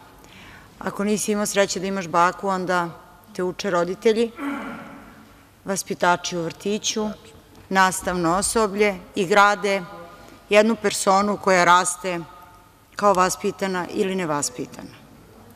Ja ne mogu da sa ove distance prihvatim ono što bi moglo da proizađe iz svega ovoga, a to je da smo mi neka grupa ljudi koja se ponaša van kodeksa i nekako ne u skladu sa onim što je vaspitano. Da li ima propusta? Da, naravno, ima. Da li je pametno doneti jednu ovakvu odluku? Apsolutno da. I pošto govorim onako kako me potpredsednica Skupštine najavila kao zamenik šefa poslaničke grupe Srbije, moje kolege pre mene su rekle da ćemo glasati za odluku o kodeksu ponašanja narodnih poslanika, ali se potpuno slažem i sa zadovoljstvom sam slušala sve svoje prethodnike, profesora Žarka Obradovića koji je govorio o iskustvima od pre 15 i 20 godina, pa i kolegu Rističevića koji je ovde postavio, čini mi se, ključna pitanja. Ja se slažem da narodni poslanici i Skupština Srbije trebaju biti prvi koji su doneli kodeks ponašanja i neka to bude model po kome će se ponašati i svi ostali, zato što mislim da javni diskurs mora da dobije neki drugi smer u odnosu na ovaj koji trenutno ima. Branislav Nušić je bio bibliotekar Narodne skupštine Srbije. Kažu da je jednom prilikom u afektu izvesnoj gospođi rekao da je krava. Ona ga je tužila, dobila na sudu, on je platio svoju novčanu kaznu, a onda je pitao sudiju – izvinite, gospodine sudija, da li je dozvoljeno kravi reći da je gospođa? Sudija je rekao da. On je izašao iz sudnice i rekao – doviđenja, gospođo. Dakle, naše vaspitanje ili nevaspitanje je osnovni element. Poverenje građana Srbije koje je dobio svaki od nas ponaosob ili svaka lista koja je zaslužila poverenje građana da bude deo aktuelnog saziva parlamenta Srbije, bila je vrlo transparentna. Svi smo tamo bili imenom i prezimenom. Svi smo imali pravo da ne budemo izbor nekoga i verovatno nekog nismo bili, ali jedan ozbiljan procenat nam je ukazao poverenje, čak i u ovom delu u kome od nas očekuju da ćemo se civilizovano ponašati i zastupati građane koji su nas birali. Kodeks koji ćemo doneti je važan i zbog svih budućih saziva Skupštine Srbije. I kamo sreće kada bi on bio neko sveto pismo, a neće biti i Poslovnik je u ovoj sali grubo kršen bezbroj puta u godinama iza nas. Dakle, sve polazi od čoveka. Meni se takođe dopada što smo po preporuci, pre svega GREKA, implementirali neke stvari kroz amandmane u Kodeks ponašanja narodnih poslanika, ali se takođe slažem da ništa tragičnije u parlamentu Srbije mi nismo čuli, šta više, svašta smo gledali po ostalim parlamentima i u okruženju i u Evropi. Dakle, samo ne mogu da prihvatim činjenicu da smo, ne do Bog, najgori, možda nismo sjajni, možda se ne dopadamo svima, ja lično nikada čak i ne koristim te termine koji bi mogli da budu ponižavajući, uvredljivi, ja ne bih mogla nazad u svoju porodicu sa jednom takvom izjavom, prosto mi takva stvar nije dozvoljena.S druge strane, mogu da razumem i da se u afektu određene stvari kažu. Neke su se ovde čule, neću se ja vraćati unazad, imala bih čega da se setim, jer ovo nije moj prvi mandat, ali je jako važno doneti jedan ovakav akt baš sada, nekoliko je pokušaja bilo i mi smo to na radnoj grupi, čini mi se, i čuli kao konstataciju. Znate, kad nešto hoćete da uradite, vi nađete način, kad nećete, obično nađete izgovor. Da li je ovaj dokument savršen? Verovatno da nije. On će vremenom trpeti i neke svoje korekcije i promene i prirodno je da tako bude. Ništa ne može trajati za navek. Da li je jedna ovakva forma mogla da se usvoji pre pet i pre deset i pre 15 godina? Da, sigurna sam da jeste. Nije bilo dobre volje. Bilo je lakše posvađati se na temu nego se usaglasiti oko nečega što bi trebao da bude primarni dokument, pa ajte da nam praksa pokaže da to nije dobro. Ja sam prihvatila sugestije da kaznena politika kada je kodeks u pitanju ne sme da bude preterano oštra i jesu u pravu.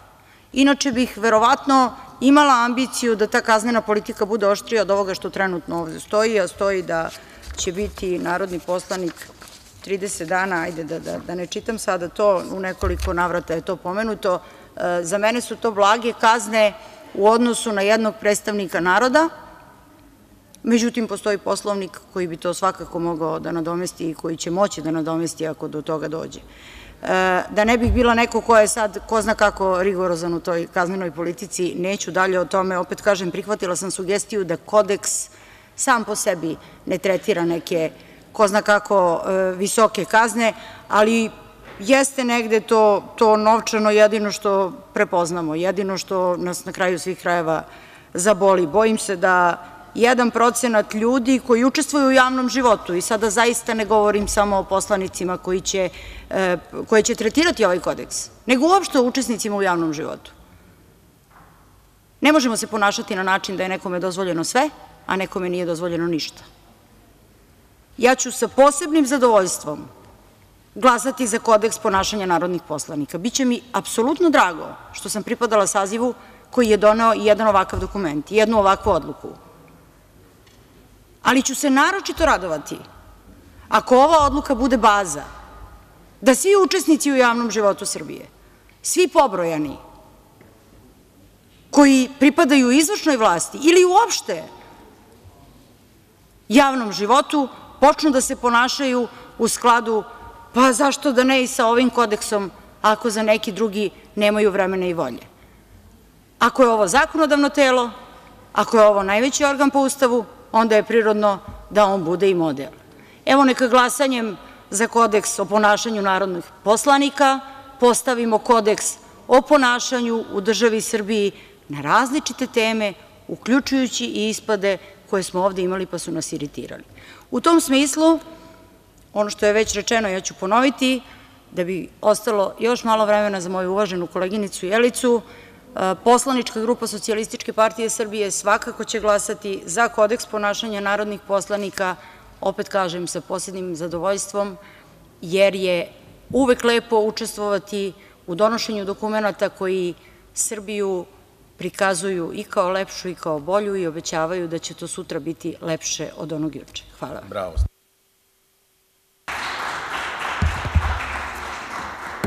Zahvaljujem zamenici predsednika poslaničke grupe SPS-a.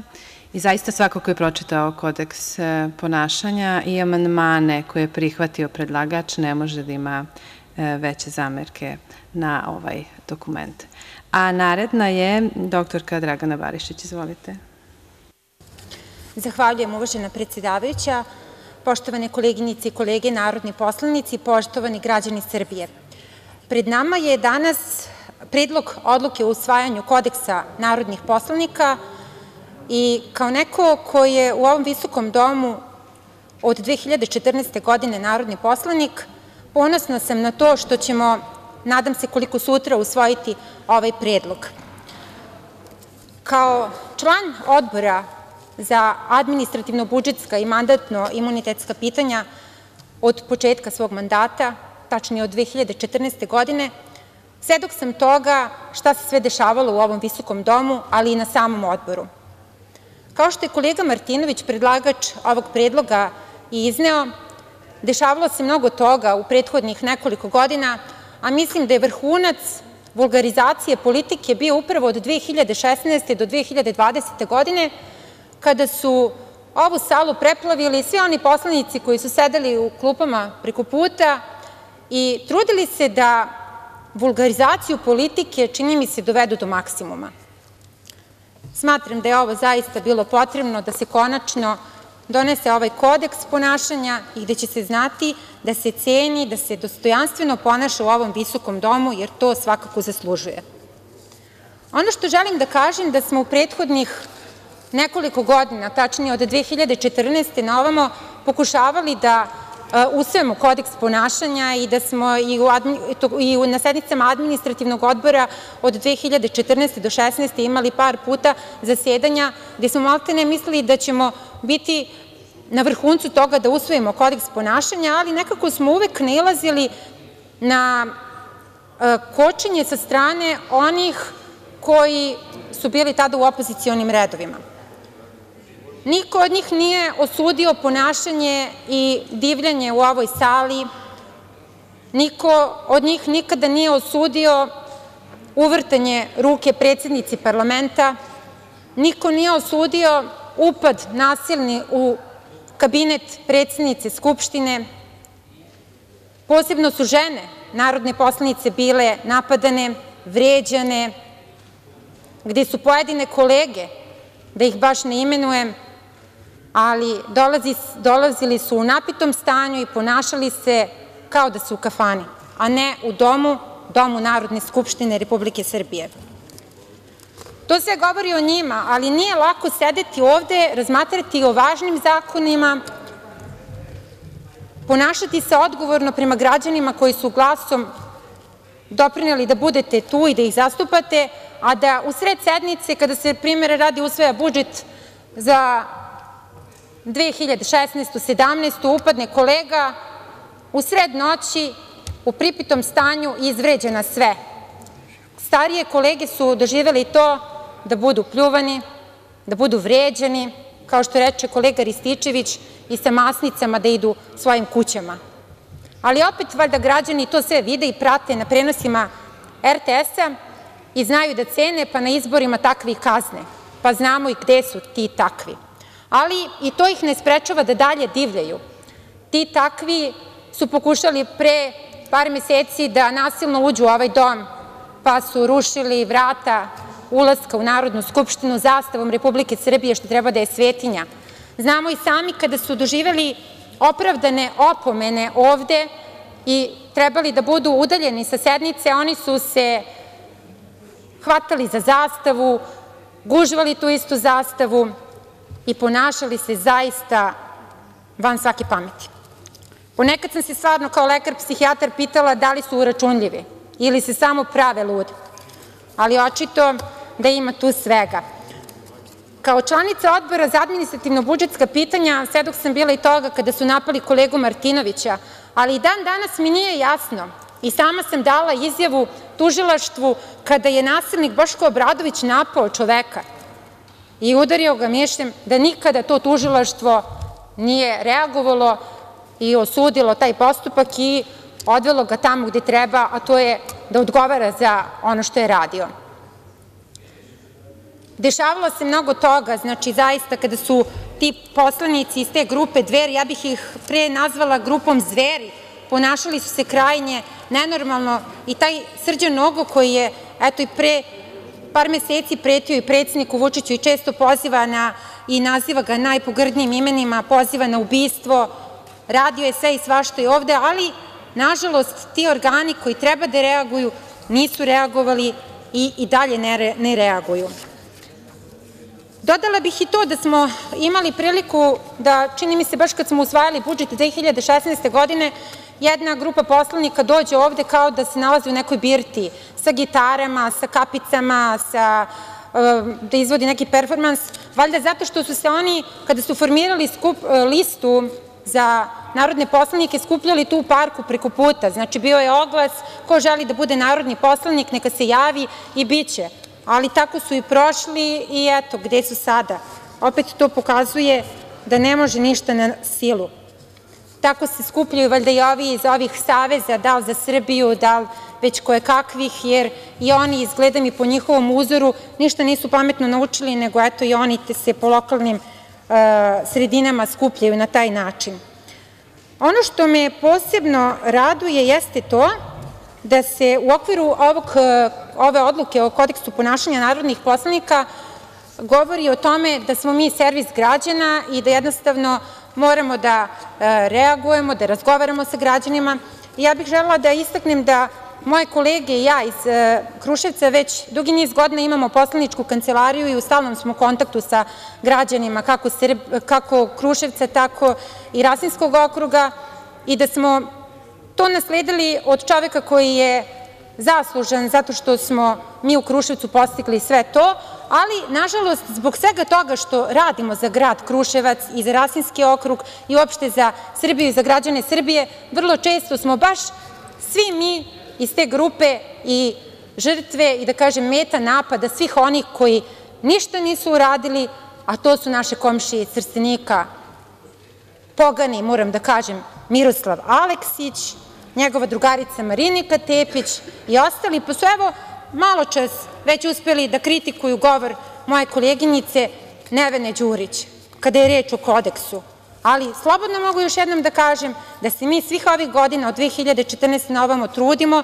da uvedemo jedan red u ovaj visoki dom i da radimo onako kako treba, da vraćamo i dalje ugled našoj Srbiji, kao što se to trudi već godinama naš predsednik Republike Aleksandar Vučić, jer su taj ugled uprljali upravo oni, oni koji su vladali do 2012.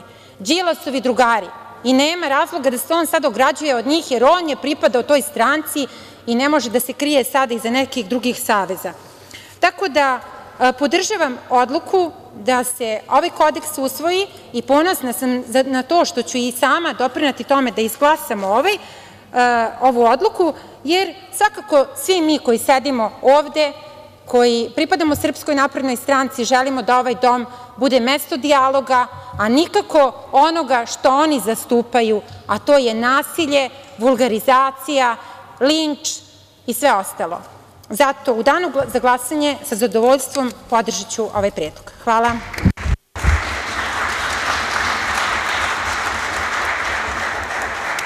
Zahvaljujem se doktorki Barišić. Naredna je narodna poslanica Jelica Sretenović. Volela bih da naglasim da imate na umu da je vašoj poslaničkoj grupi ostalo na raspolaganju tačno šest minuta.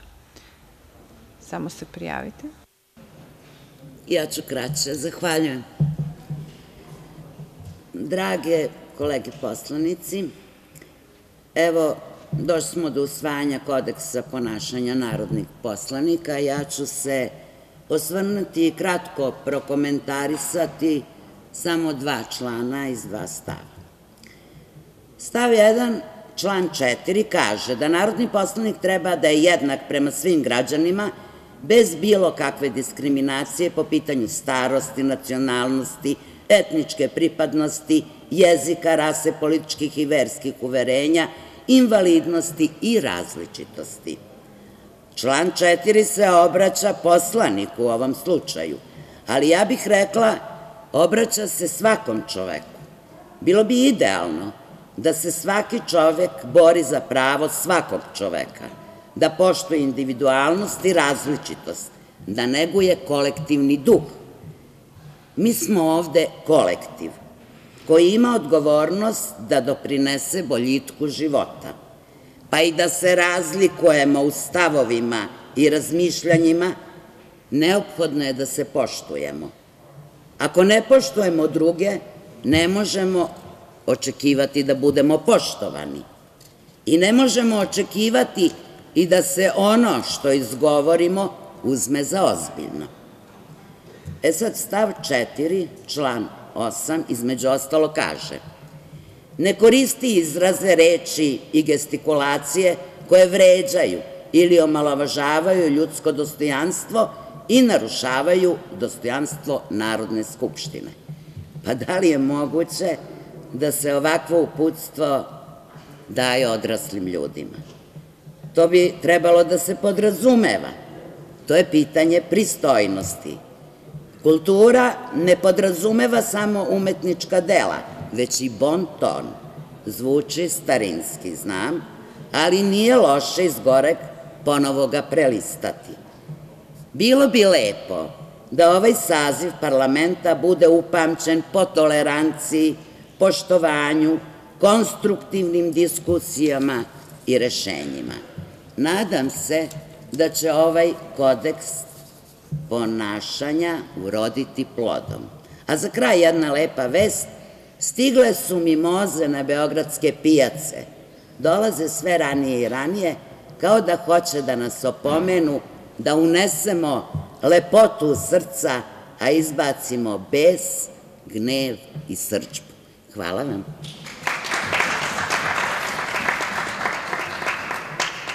Hvala vama. E, naredna je narodna poslanica Jelena Žarić Kovačević. Izvolite. Zahvaljujem predsedavajuća. Dame i gospodo narodni poslanici, ja sa zadovoljstvom evo mogu danas da konstatujem da je na dnevnom redu usvajanje etičkog kodeksa koji će proklamovati principe i načela u skladu sa kojima će se narodni poslanici ponašati, a što će nas u mnogome približiti i punopravnom članstvu u Evropsku uniju. Želim da kažem i da mi je zadovoljstvo što imam prilike da čujem dosta toga od starijih kolega koji su mnogo duže od mene i od nekih mlađih kolega ovde u parlamentu i čini mi se da će zaključak biti da su poslanici Srpske napredne stranke zapravo to će učiniti u ovom mandatu, ali i u prošlim mandatima bili ti koji su znali kako da poštuju dostojanstvo ovog visokog doma. Odgovornost, integritet, marljivost, poštovanje ugleda parlamenta, postupanje u javnom interesu, poštenje, uzdržavanje od ostvarivanja ličnog interesa ili finansijske koristi su svakako osobine koje treba da ima svaki narodni poslanik. Pravni okvir za donošenje etičkog kodeksa je širok i obuhvata najpre Ustav, koji uređuje izbor narodnih poslanika, njihov položaj i imunitet. Zatim, Zakon o Narodnoj skupštini, koji reguliše prava i dužnosti narodnih poslanika. Tu je svakako i Poslovnik o radu Narodne skupštine koji reguliše održavanje reda na sednici, ali u tom smislu možemo pomenuti i Zakon o sprečavanju korupcije koji uređuje položaj funkcionera, primanje poklona, rad, odnosno vršenje funkcije u javnom interesu i tako dalje, kao i Zakon o lobiranju koji se odnosi na dozvoljeni uticaj na javne funkcionere. Podsetila bih vas i na istraživanje o kome danas nismo mnogo toga čuli, na istraživanje koje je uradila Biblioteka Narodne skupštine iz 2013. godine na temu Kodeksa ponašanja poslanika u zemljama članicama Evropske unije. I nije uopšte važno što se radi o 2013. godini, jer se radi o principima koji moraju da traju, koji čuvaju dostojanstvo Narodne skupštine. Tada je samo nekoliko zemalja Evropske unije usvojilo Kodeks ponašanja narodnih poslanika. Poslanici Srpske napredne stranke, odnosno poslaničke grupe Aleksandar Vučić – Za našu decu svakako će podržati usvajanje etičkog kodeksa, ne samo jer smatramo da je to korak napred ka nekom parlamentarnom dijalogu, već i zbog toga što smo i sami pokazali na mnogo primera da pre svega vodimo računa o javnom interesu. Aleksandar Vučić je prvi pokazao da je spreman da interese građana i Srbije stavi na prvo mesto. I te 2014. godine, kada je bio prvi spreman na mere fiskalne konsolidacije za koje je znao da, da će loše uticati na njegov rejting. Kao i sada, u borbi protiv korone, prvi je bio u nabavci respiratora i davanju podrške zdravstvenom sistemu. Podsetiću vas da je obećao dve nove bolnice i evo mi sada imamo dve bolnice koje su otvorene. Za četiri meseca smo ih dobili, one su otvorene i primile su prve pacijente. Ali da se vratimo na konkretne stvari koje se tiču etičkog kodeksa. Naravno, sve suprotno imamo na strani nekih pripadnika propale opozicije i da li je u skladu sa etičkim kodeksom koji ćemo usvojiti to što sam ja sada izgovorila propale opozicije, mislim da jeste jer je to zapravo samo činjenično stanje. Oni su napustili parlament, ali znaju da ga kritikuju. Oni nisu gradili bolnice, ali znaju da kritikuju izgradnju bolnica. Oni nisu usvojili etički kodeks kada su imali većinu u parlamentu, a sada to znaju da kritikuju. Ja sam ovih dana čula čak i Dragana Đilasa da je kritikovao donošenje etičkog kodeksa, njemu se to nije mnogo svidelo i on je o tome govorio proteklih dana na medijima svojim koje on finansira, da donosimo etički kodeks da bismo pokrili sve što nije dobro u parlamentu i državi. Pa da, ali ne da bismo pokrili, već da bismo otklonili. Mislim da ne priliči da Saša Radulović svira gitaru u sali, da jede burek i jogurt, da se pritom slika kako bi se hvalio time na društvenim mrežama, jer čega se pametan stidi, ovaj drugi shvati valjda tek na izborima. Ne priliči da Boško Obradović donese kamen i sa ostalom družinom viče, vređa, peva, čupa mikrofone, fizički nasrće na predsednicu Skupštine, zastavom Srbije udara u prozore Narodne skupštine.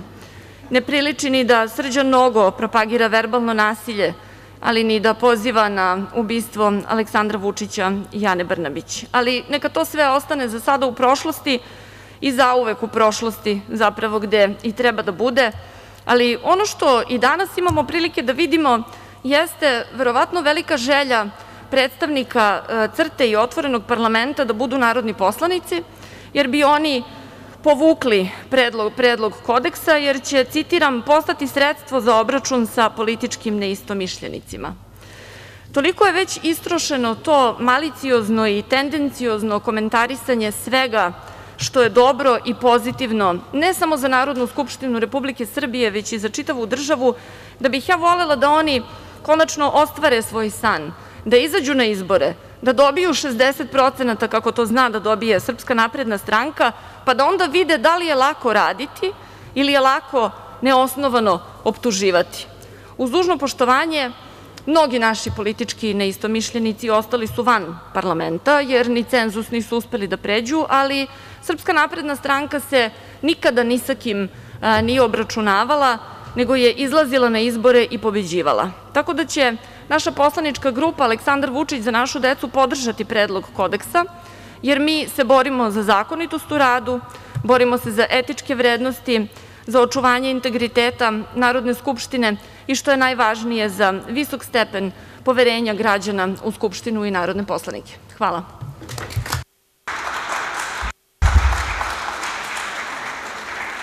Zahvaljujem se narodnoj poslanici Jeleni Žarić Kovačević. Sledeći je narodni poslanik Nenad Filipović. Izvolite. Hvala. Uvažena predsedavajuća, dame i gospodo narodni poslanici, poštovani građani, danas u ovoj raspravi Narodna skupština treba da usvoji kodeks ponašanja narodnih poslanika. To činimo iz više razloga. Jedan od njih je proces integracije Republike Srbije Evropskoj uniji i primena evropskih standarda. Drugi je, na primer, da neodgovorno ponašanje pojedinca može da pokrene stihiju. I iako su mnoga takva neodgovorna ponašanja već definisana samim Poslovnikom o radu Narodne skupštine Republike Srbije. Kada čujem reč ponašanje, dakle u ovoj sintagmi kodeks ponašanja, prva asocijacija koja mi padne na pamet je bonton. I drago mi je što je moja prethodna koleginica Jelica upotrebila ovu reč bonton. jer bon ton označava pravila lepog i pristojnog ponašanja u svakodnevnom životu, a svrha bon tona je da omogući pojedincu da se prijatno oseća u društvu, ali i da pritom ne uznemirava druge. A kada u jednom društvu pravila bon tona preovladaju, ona postaju zaštita od bahatih i nepristojnih ljudi. I upravo sam ovako počeo ovu diskusiju da bih se nadovezao na jučerašnju diskusiju predsednika Jedinstvene Srbije Dragana Markovića Palme koji je o tome govorio. Jer danas ima sve više takvih, najblaže rečeno, nepristojnih ljudi, jer da biste pokazali svoju nepristojnost prema nekome, ne morate biti više ni u kakvoj direktnoj komunikaciji sa njim, znači da budete fizički prisutni, već putem interneta ostvarujete još jaču komunikaciju od ove direktne, a to je javna komunikacija, koju mnogo lakše možete da zloupotrebite. I ona se zloupotrebljava i treba nadležni organi da se njome pozabave. Sa te strane kada pogledate, zaista je teško bilo kom narodnom poslaniku da ostane imun na svakojake javno izrečene uvrede na njegov račun ili račun njegove porodice putem raznih društvenih mreža. S druge strane, obzirom da je kodeks ponašanja u stvari etički kodeks, a opšte etičke vrednosti se poklapaju delom sa moralnim vrednostima, a delom sa opštim vrednostima koje treba da poseduje svaki pojedinac, poslanička grupa Jedinstvene Srbije će podržati ovaj predlog odluke, jer svaki poslanik se i prilikom potpisivanja zakletve ovde u ovom narodnom parlamentu, odnosno u Narodnoj skupštini obavezao i istini i pravdi, pravičnosti i poštenju. Kako Narodnu skupštinu čine 250 narodnih poslanika, cilj svih nas je da svojim ponašanjem branimo dostojanstvo ove iste Narodne skupštine. Ali takođe moramo imati i saznanje da ukoliko jedan pojedinac prekrši ovaj kodeks ponašanja, podriva ugled Narodne skupštine, to je svih nas zajedno. Naše ponašanje i ovde u Narodnoj skupštini i uopšte van Narodne skupštine i pored mnogih pritisaka koje osećaju narodni poslanici, definiše mnoge stvari u našem društvu. Pored ugleda Narodne skupštine, tu je refleksija koju ona odražava na društvo u celini. Upravo zbog toga je i potrebno doneti jedan ovakav kodeks, da bismo i na ovaj način pokazali svoje opredeljenje da želimo da naše društvo postane jedno pristojno mesto gde će svaki pojedinac osećati se prijatno. Hvala. Hvala vama. Naredni je narodni poslanik profesor dr Vladimir Marinković. Samo se prijavite, ne vidim vas u sistemu. Hvala gospođo Kovač, potpredsednice Narodne skupštine, dame i gospodo narodni poslanici, pa evo, dok traje ova naša diskusija danas i ono što mogu da kažem da je bilo jako dobro i detaljno elaboriranje od strane predlagača, profesora Aleksandra Martinovića, o ovom predlogu kodeksa ponašanja narodnih poslanika, nismo ni završili raspravu pošteno, a već imamo i osude, evo ja sam zapisao, neka kuća ljudskih prava. Osuđuje Martinovića, osuđuje kodeks ponašanja, a da nismo stigli ni jedan dan da krenemo da ga primenjujemo i da, naravno, podrobnije objasnimo građanima Republike Srbije koliko će on značiti za unapređenje političke kulture i unapređenje dijaloga kako u Narodnoj skupštini, tako i u celom društvu. Ali ne radi se ovde o kodeksu ponašanja, radi se o tome da očigledno šta god Aleksandar Martinović predložio, šta god predložila Srpska napredna stranka, da to valjda unapred treba da se osudi, da to unapred ne valja, jer neki, eto, kao što je ta kuća ljudskih prava, očekujem sada da se oglase i žene u crnom, i te vrste nekih organizacija koje će da osude ovo i da kažu da sve ono što mi radimo i ovde u parlamentu, sve što radi Vlada Republike Srbije ne valja i nije u interesu građana, jer tobože njima pripada to ekskluzivno pravo i ekskluziva da upravljaju državom, da upravljaju i da oni unapređuju ono što se zove bolji uslovi i kvalitetniji život građana Republike Srbije, ali na njihovu žalost, a na radost i na korist građana Republike Srbije, podrška svemu onome što radi SNS, svemu onome što radi predsednik Aleksandar Vučić je ogromna, ogromna većina građana Republike Srbije, ogroman procenat ljudi koji prepoznaje ono što radi naš predsednik, ono što radi naša stranka na konkretnom planu, na dnevnom nivou po pitanju unapređenja kvaliteta njihovog života.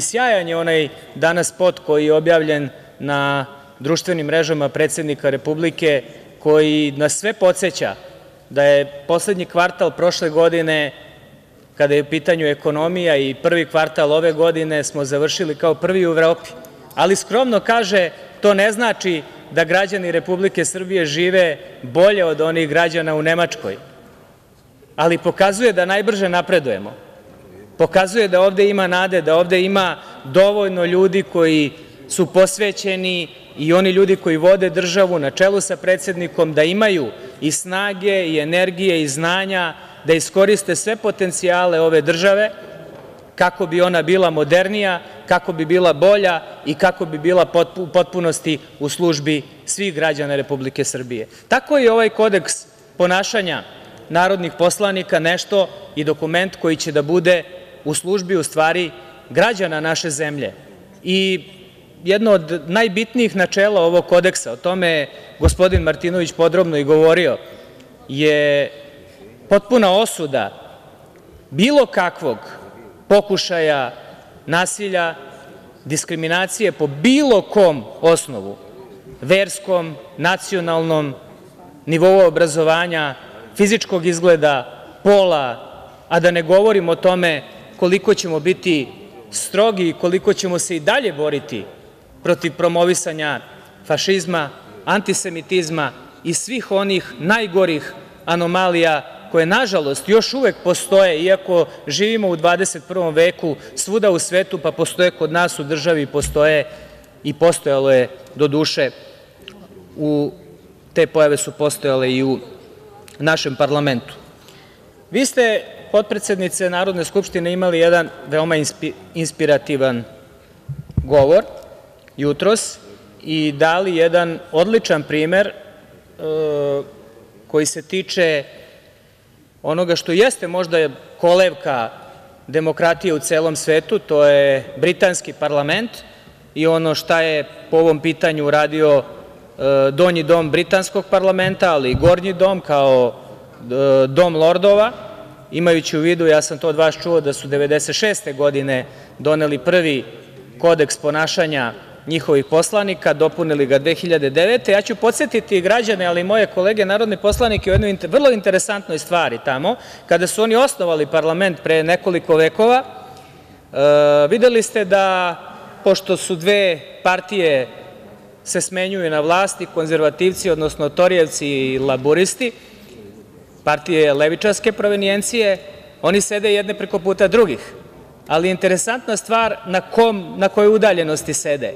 Na udaljenosti od dužine dva mača, da ne bi slučajno došlo do mogućnosti u nekoj žestokoj, žustroj raspravi između poslanika različitih ideologija i različitih razmišljanja, da ne dođe do fizičkog sukoba, pošto je tada bilo moguće na početku nositi mačeve nositi oružje u parlament.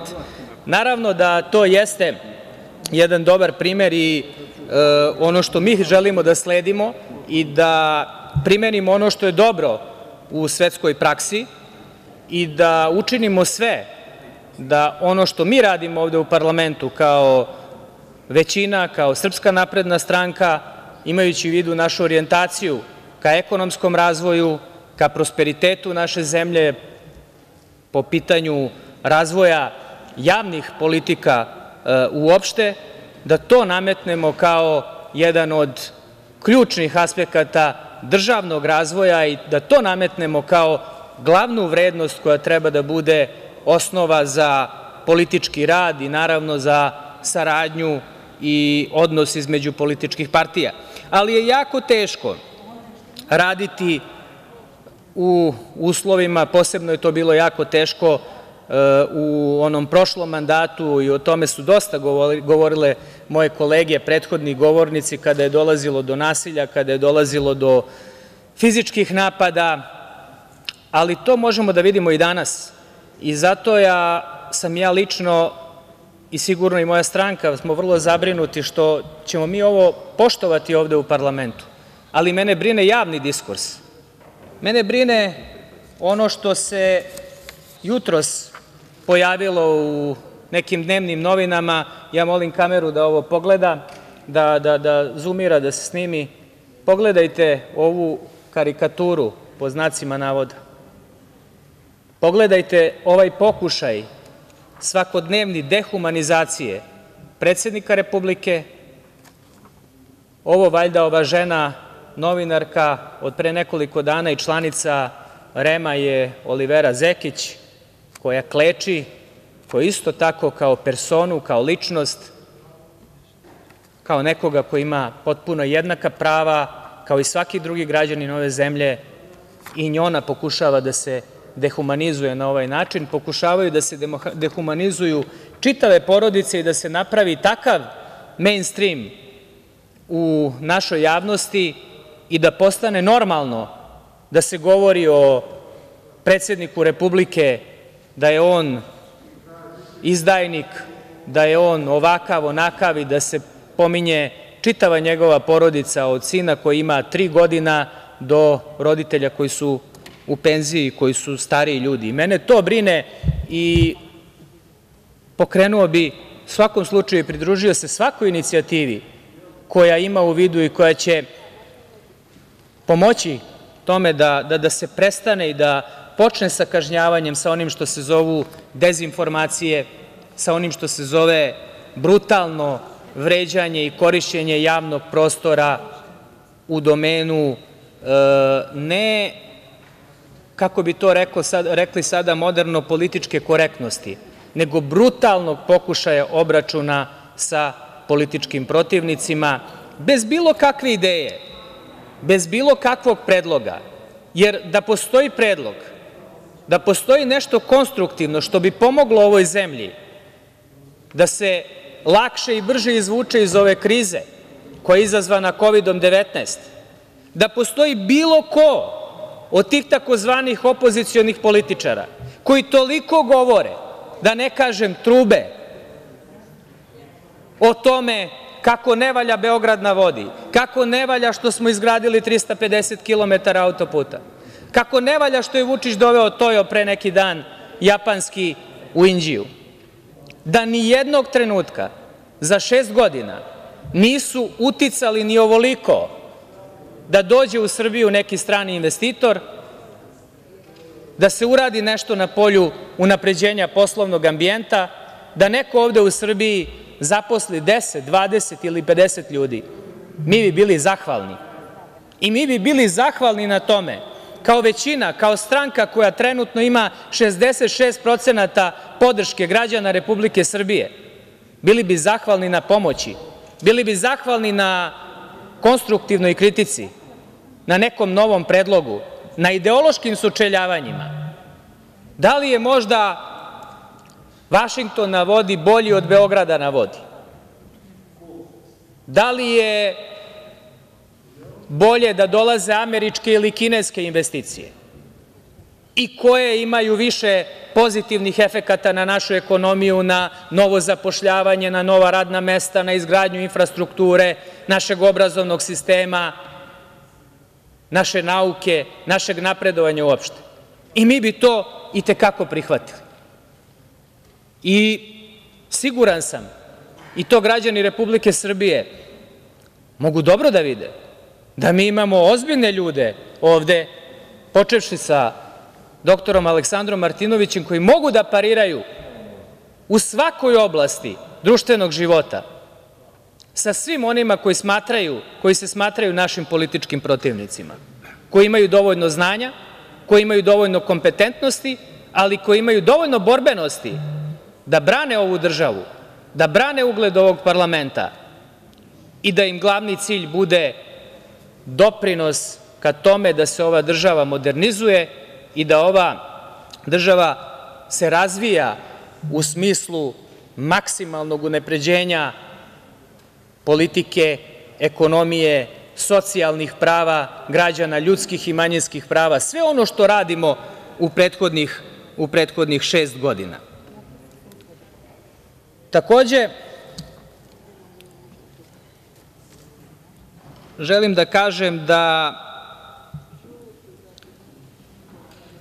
mi ovde u parlamentu možemo da, koliko su to građani mogli da vide, možemo da govorimo jezikom argumenata, jezikom dobrog ponašanja i poštovanja političke kulture i to njenog najvišeg mogućeg nivoa, po najvišim mogućim standardima i nismo mi ništa drugačiji ni od onih parlamenata koji postoje 50 i više godina, neki i više od stotinu godina i ne želim da priznam i ne želim da se pomirim sa tom činjenicom da kod nas nema političke kulture.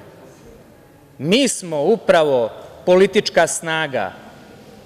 Srpska napredna stranka je politička snaga koja pokazuje kakav treba da bude nivo političke kulture, kako se boriti za svoju zemlju i kako biti spreman da radite u korist svoje zemlje i svojih građana zajedno sa predstavnicima izvršne vlasti, zajedno sa predsednikom Republike gospodinom Vučićem, kako bi podigli maksimalno ugled svoje zemlje. I mi danas u 2021. godini živimo u zemlji koja ima ugled i ne želimo da dopustimo, neko od mojih prethodnika je govorio, mislim gospodin Obradović, da se stalno napada parlament. Pa jeste, ali ne napada se parlament zbog parlamenta, nego se napada parlament zbog Vučića, da bi se obesmislilo, da bi se dezavuisalo sve ono što je urađeno na planu ekonomije, na planu reformi, na planu jačanja i snaženja ove države, jer nema drugih argumenata nego nasilje i promocija svega onoga što nije nešto što može da se podvede pod političku borbu, jer mi smo kao stranka, kao ljudi ovde u parlamentu potpuno spremni na bilo koju vrstu političke borbe i dijaloga, ali nas iskustvo uči i neki od vas su učestvovali u ovim razgovorima pod posredstvom kolega iz Evropskog parlamenta, za tango je potrebno dvoje i ne možete voditi dijalog sa nekim ko unapred osuđuje dijalog, kao što su ovi ljudi danas unapred osudili Aleksandra Martinovića i ovaj Predlog kodeksa ponašanja narodnih poslanika. To je nemoguće.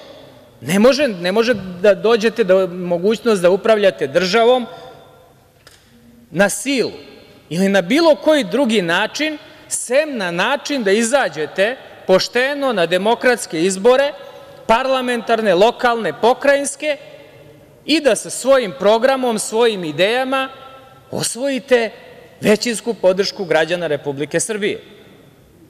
To valjda u 21. veku je normalno i treba da se shvati i ja se nadam da će na kraju svi oni koji podrazumevaju i koji promovišu neki drugi vid i mogućnosti da se dođe do vlasti, da će to shvatiti konačno u interesu ove zemlje i naravno u njihovom interesu. Nama to odgovara, iskreno da vam kažem, njihov rejting od 1%, 0,5% daje nama prostor, jer samo na ovaj način građani shvataju koliko smo bolji, koliko smo uspešniji, koliko smo usmereni na rezultate i koliko smo spremni, ne da se poštujemo ovde međusobno, nego da poštujemo i ove naše kolege, službenike, nameštenike, policajce, sve ljude u ovoj zemlji, boreći se protiv bilo koje vrste diskriminacije i naravno boreći se protiv bilo koje mogućnosti da se pojavi korupcija ili bilo kakav koruptivni aspekt funkcionisanja bilo koga ovde od nas u parlamentu, pa da li je pripadnik SNS ili neke druge, apsolutno to nije bitno. I to jeste i ovo jeste jedan od aspekata i nastavka rata i bespoštedne borbe protiv korupcije koju je objavio tadašnji premijer Vučić 2014. godine, definišući nultu toleranciju prema korupciji. I u tome ide u prilog i Zakon o lobiranju koji smo izglasali ovde u parlamentu, gde se jasno podvlači linija između toga šta je lobiranje, šta je korupcija, šta državni službenik može da radi, šta mu je dozvoljeno, šta mu nije dozvoljeno. Ono za kraj što ja mogu da poručim i mojim kolegama i građanima Republike Srbije da ćemo se mi ovde truditi maksimalno da unapređujemo dijalog, da radimo u korist naše zemlje, da donosimo što više zakona i unapredimo zakonsku regulativu kako bi naši građani živeli bolje, kako bi oni imali veće plate, kako bi naši mladi ljudi imali veći izbor kada se zapošljavaju, da imaju veći izbor gde da se školuju, kako da se školuju, na koji način, na kojim institucijama. Radićemo i dalje na omogućavanju svih mogućih ljudskih sloboda i prava za naše građane i otvoreni smo za razgovor sa svima. I to može vrlo jasno da se vidi kako može da bude dobra saradnja na dobrim, kvalitetnim osnovama i temeljima i sa nacionalnim manjinama ovde u Srbiji, ali i sa zemljama i u okruženju i u celom svetu koje hoće da sarađuju, koje žele i koje mogu da poštuju i uvažavaju Srbiju kao ravnopravnu i naravno suverenu zemlju. I to je suštinski ono što će određivati ponašanje i parlamenta i nas narodnih poslanika u narednom periodu, naravno i pored toga što ćemo želeti i da učimo, da primenimo neku dobru praksu onih koji su možda u nekom delu napredniji od nas, kako je to skoro rečeno da je recimo crnogorski parlament, odnosno njihova Skupština, da je prihvatila bukvalno identičan tekst ovog kodeksa ponašanja koji će biti, nadam se, i kod nas usvojen sutra. Znači, ne bežimo od toga da primenimo i neku drugu praksu iz Evropskog parlamenta, iz američkog Kongresa, Senata, britanskog parlamenta. Ova država je pokazala, na čelu sa predsednikom Vučićem, da je otvorena. Ova država je pokazala da mi želimo da učimo i da mi nemamo i ne želimo da imamo apriori bilo kakve neprijatelje. Mi stvaramo prijatelje. Mi smo ponovo narod i država koja pobeđuje, koja ima uspehe i na domaćem i međunarodnom planu. Mi smo država koja je zahvaljujući aktivnostima i promeni takozvanog, kako bi to Vučić rekao, majnseta ljudi, postali od jednog gubitnika, od jedne države koja je navikla da gubi decenijama i na geopolitičkom i na ekonomskom i na bilo kojem drugom planu, postali smo država koja ekonomski jača svakodnevno, koja politički jača svakodnevno, koja na socijalnom planu jača svakodnevno. Postali smo zemlja sa rezultatima i mi ćemo kao parlament, kao Srpska napredna stranka nastaviti taj put predsednika Vučića, imajući u vidu da radimo u maksimalnom interesu ove države i građana Republike Srbije. Hvala.